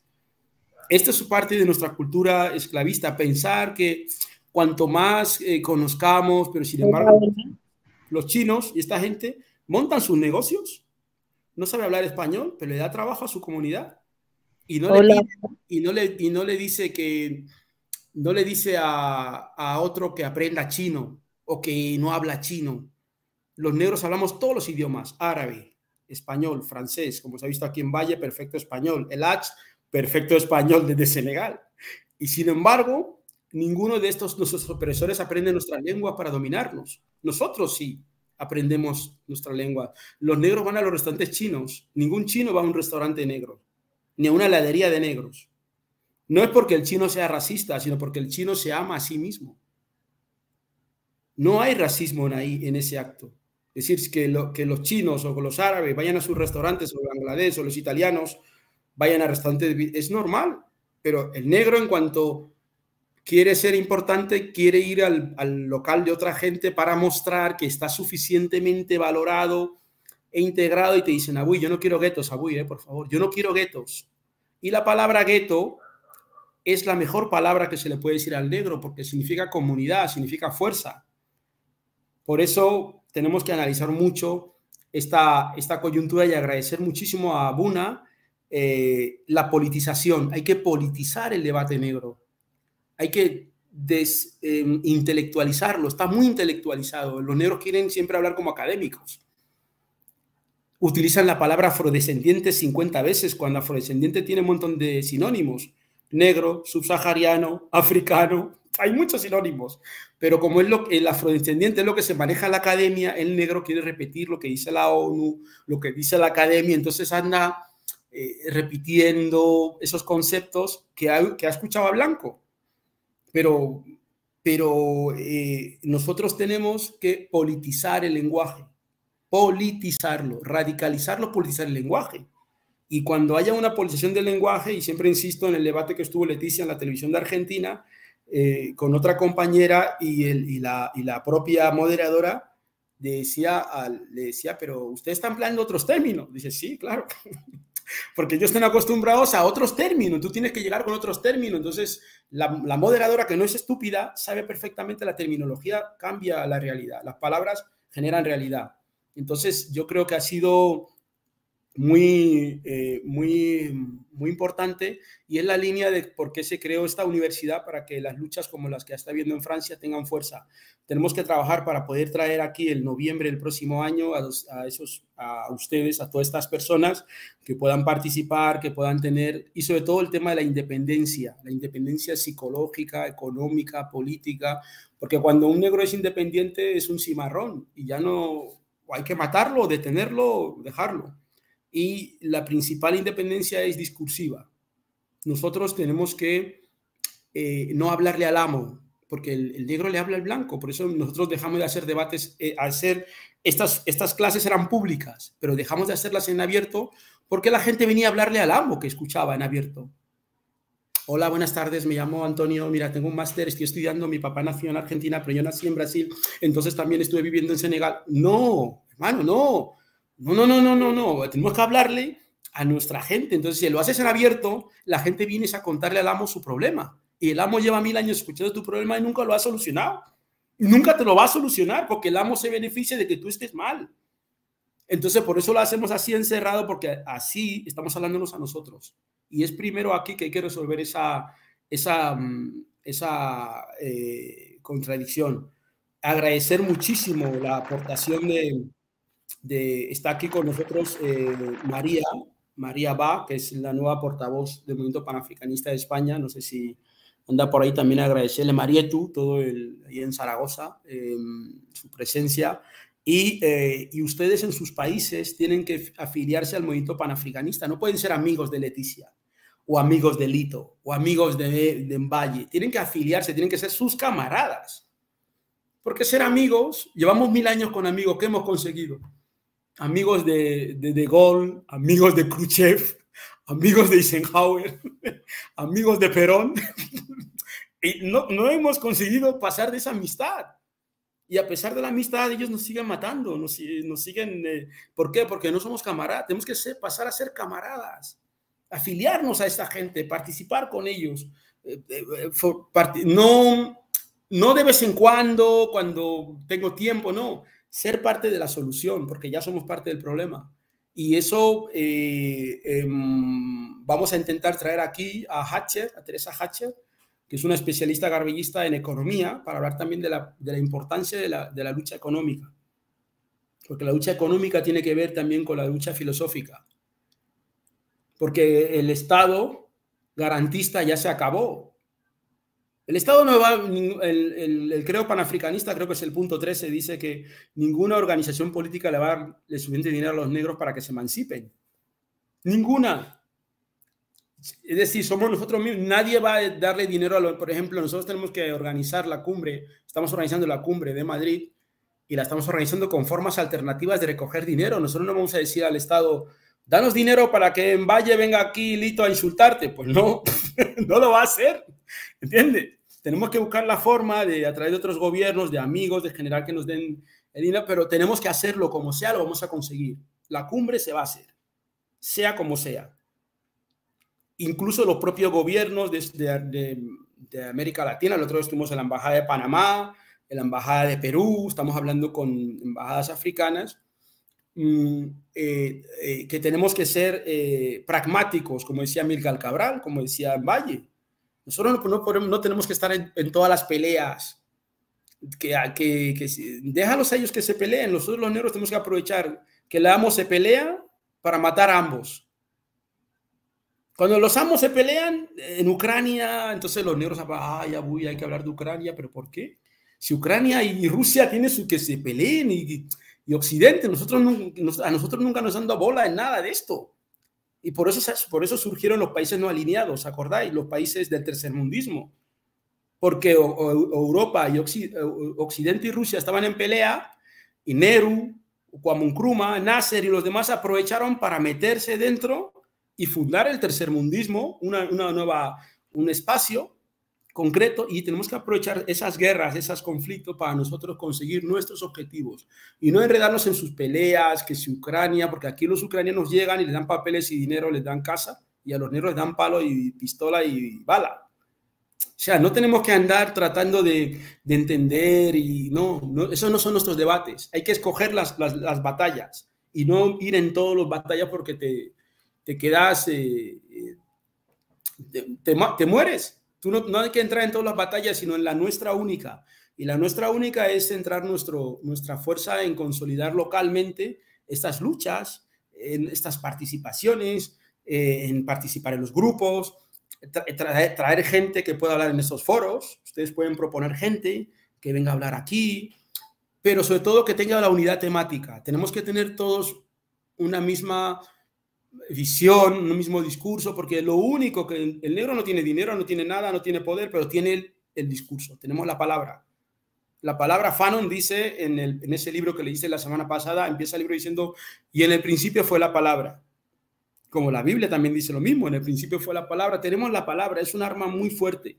Por eso no hay que gastarlo en, miles de, abstracciones y tratar de coincidir en lo más próximo nosotros hemos demostrado durante mucho tiempo que no hay diferencia entre lo que pasa en Argentina, en España y demás. Las ONGs que crea el sistema, que ha dicho el hermano, quieren decirte que tu condición en Perú es diferente a la de no sé qué, entonces empiezan a hacer estudios que les pagan y entonces vienen aquí a Madrid, a Casa América y hacen otros estudios, pero a la final tú miras todos esos estudios y la condición del africano en Perú es igual que en otro sitio.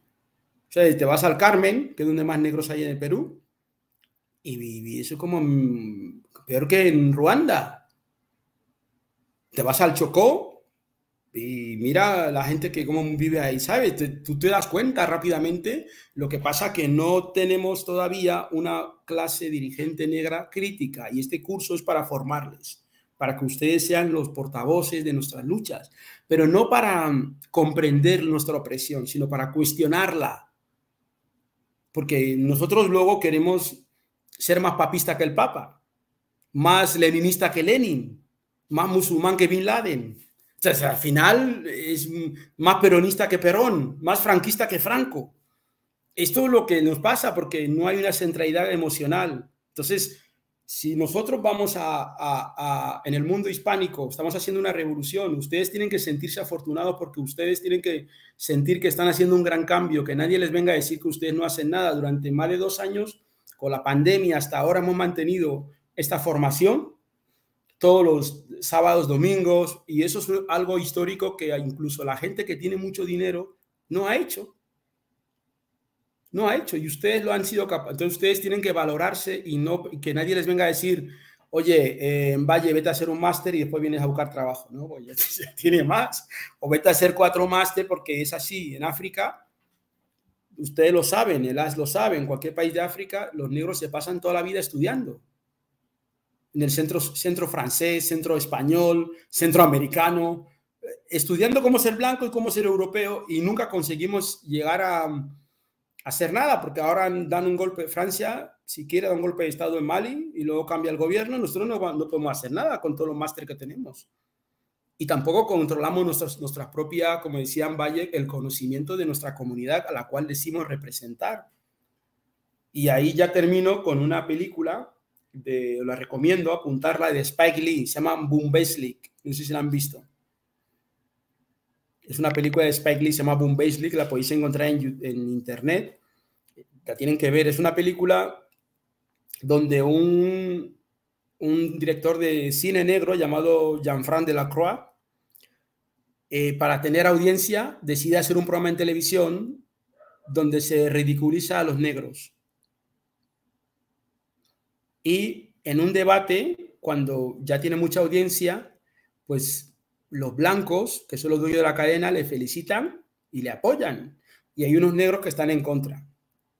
Y entonces resulta que los blancos dicen que tienen mucho más legitimidad que los negros porque ellos tienen un máster en negrología en Harvard y los negros no saben ni puta idea de cómo funciona el gueto porque se han pasado toda la vida estudiando cursos de filología, bueno, todas esas cosas que hacen los negros de cursos que se meten y tal. Y resulta que los blancos lo que estuvieron haciendo es cursos de cómo conocer a los negros. Habían hecho un, máster en historia africana, ¿entiendes? Y entonces la contradicción, unos conocen, unos te han estudiado y tú no, haces, tú no te has preocupado de estudiar a tu propia gente ni de conocerles porque te confiabas de cómo eres un doctor, ya era suficiente. Y esa película es muy interesante. Búsquenlo, se llama Moon que es una película de Spike Lee, creo que es del año 97, 98. Y, y es muy interesante para ver eh, em, ese debate. Y luego también, ustedes tienen que ser muy críticos siempre con la élite negra. Em, no tienen que, no porque sean negros, están a favor de nuestra causa. Nosotros tenemos una línea ideológica y un credo panafricanista. Y quien está a favor de eso está con nosotros. Y el que está en contra de eso no está con nosotros. Blanco o negro. Porque muchas veces eh, las embajadas africanas acá, como en cualquier parte, cuando matan a un negro, el embajador africano no habla. Pero sin embargo, cuando nosotros les exigimos a los embajadores africanos, aparecen los negros intelectuales, no, Abuy, todos somos iguales, son nuestros hermanos, ¿sabes? También son senegaleses como tú y también de Guinea. Entonces, ¿qué hacen? Nos hacen un chantaje emocional para que la élite negra, que es indiferente a nuestro dolor, la veamos como hermanos. Ya sea en Argentina, en Perú, en Ecuador, porque si realmente la élite negra fuera despierta, estaría denunciando, no, no, sé, no hubiese sido Gagri quien inició la campaña de Blackface, la irían ellos. ¿O, no? Si realmente la élite negra estuviera despierta, estarían saliendo de que en España se mató a 75 personas hace un año y ningún embajador, ningún político, ningún, em, digamos, eh, ningún académico negro, que en España hay académicos negros, hay diputados negros, en España hay seis diputados negros. Ninguno dijo nada. Entonces, no tenemos que ir con el tema de la pigmentocracia y el color, porque eso es muy falso. Y ya Franz Fanon lo dijo, hay, esa idea, porque si realmente eh, eh, hubiera esa, esa cuestión, pues en vez, de que, en vez de que sean ustedes quienes hagan eso, ustedes tienen que valorar los esfuerzos que ustedes hacen. Y no que Gagri hace una campaña para denunciar el blackface y sin embargo, ella, como no tiene suficiente autoestima sobre sí misma, está esperando a que la élite negra le va a salvar porque la élite negra no le interesa, ni le ha interesado nunca porque ellos viven bien en esa contradicción y la muerte nuestra. O Biangema en Guinea, o Bongo, Polvi, todos esos viven bien, eso, y no tenemos que tener, no tenemos que estar pendiente de lo que ellos hacen. Ellos no tienen ningún proyecto para la unidad africana y la liberación de África. Y eso la película de esclavos lo veis. Siempre están los esclavos de la casa y los esclavos del campo. Los esclavos de la casa quieren mantener el orden porque gracias a que existe la esclavitud viven bien. Si triunfa el quilombo, ellos pierden su poder. Entonces siempre están jugando a estar en medio, ah, que hago un máster, que viajo, pero voy a la ONU, pero luego vengo, pero hoy, o sea, es, todas, esas, todas esas formas, pero después de un año os fijáis en cuántas posiciones han estado cambiando y no, han, y no se han movido de, ningún lado. Siempre han estado en lo mismo. Y, y, y, le estamos diciendo a, a, a, a esta élite negra que, tiene, que no tiene que ser funcional, a la opresión, pero no tenemos que hablarles a ellos, tenemos que demostrarlo con nuestro trabajo. No, no estar pendiente de ellos, sino hacer nuestro trabajo, montar nuestro, lo que vamos a hacer el, 2000 año, el próximo año, mantener la universidad, mantener los medios. Ustedes tienen que suscribirse a los medios nuestros, no al New York Times, a Juro África, no al Herald Tribune, a Juro África. Entonces, darle poder a su propia fuerza. Uhuru, hasta la próxima semana.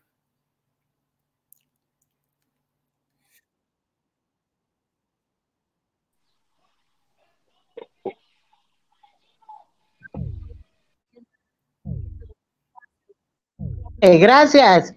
Chao, Leticia, Sayawi. Juro.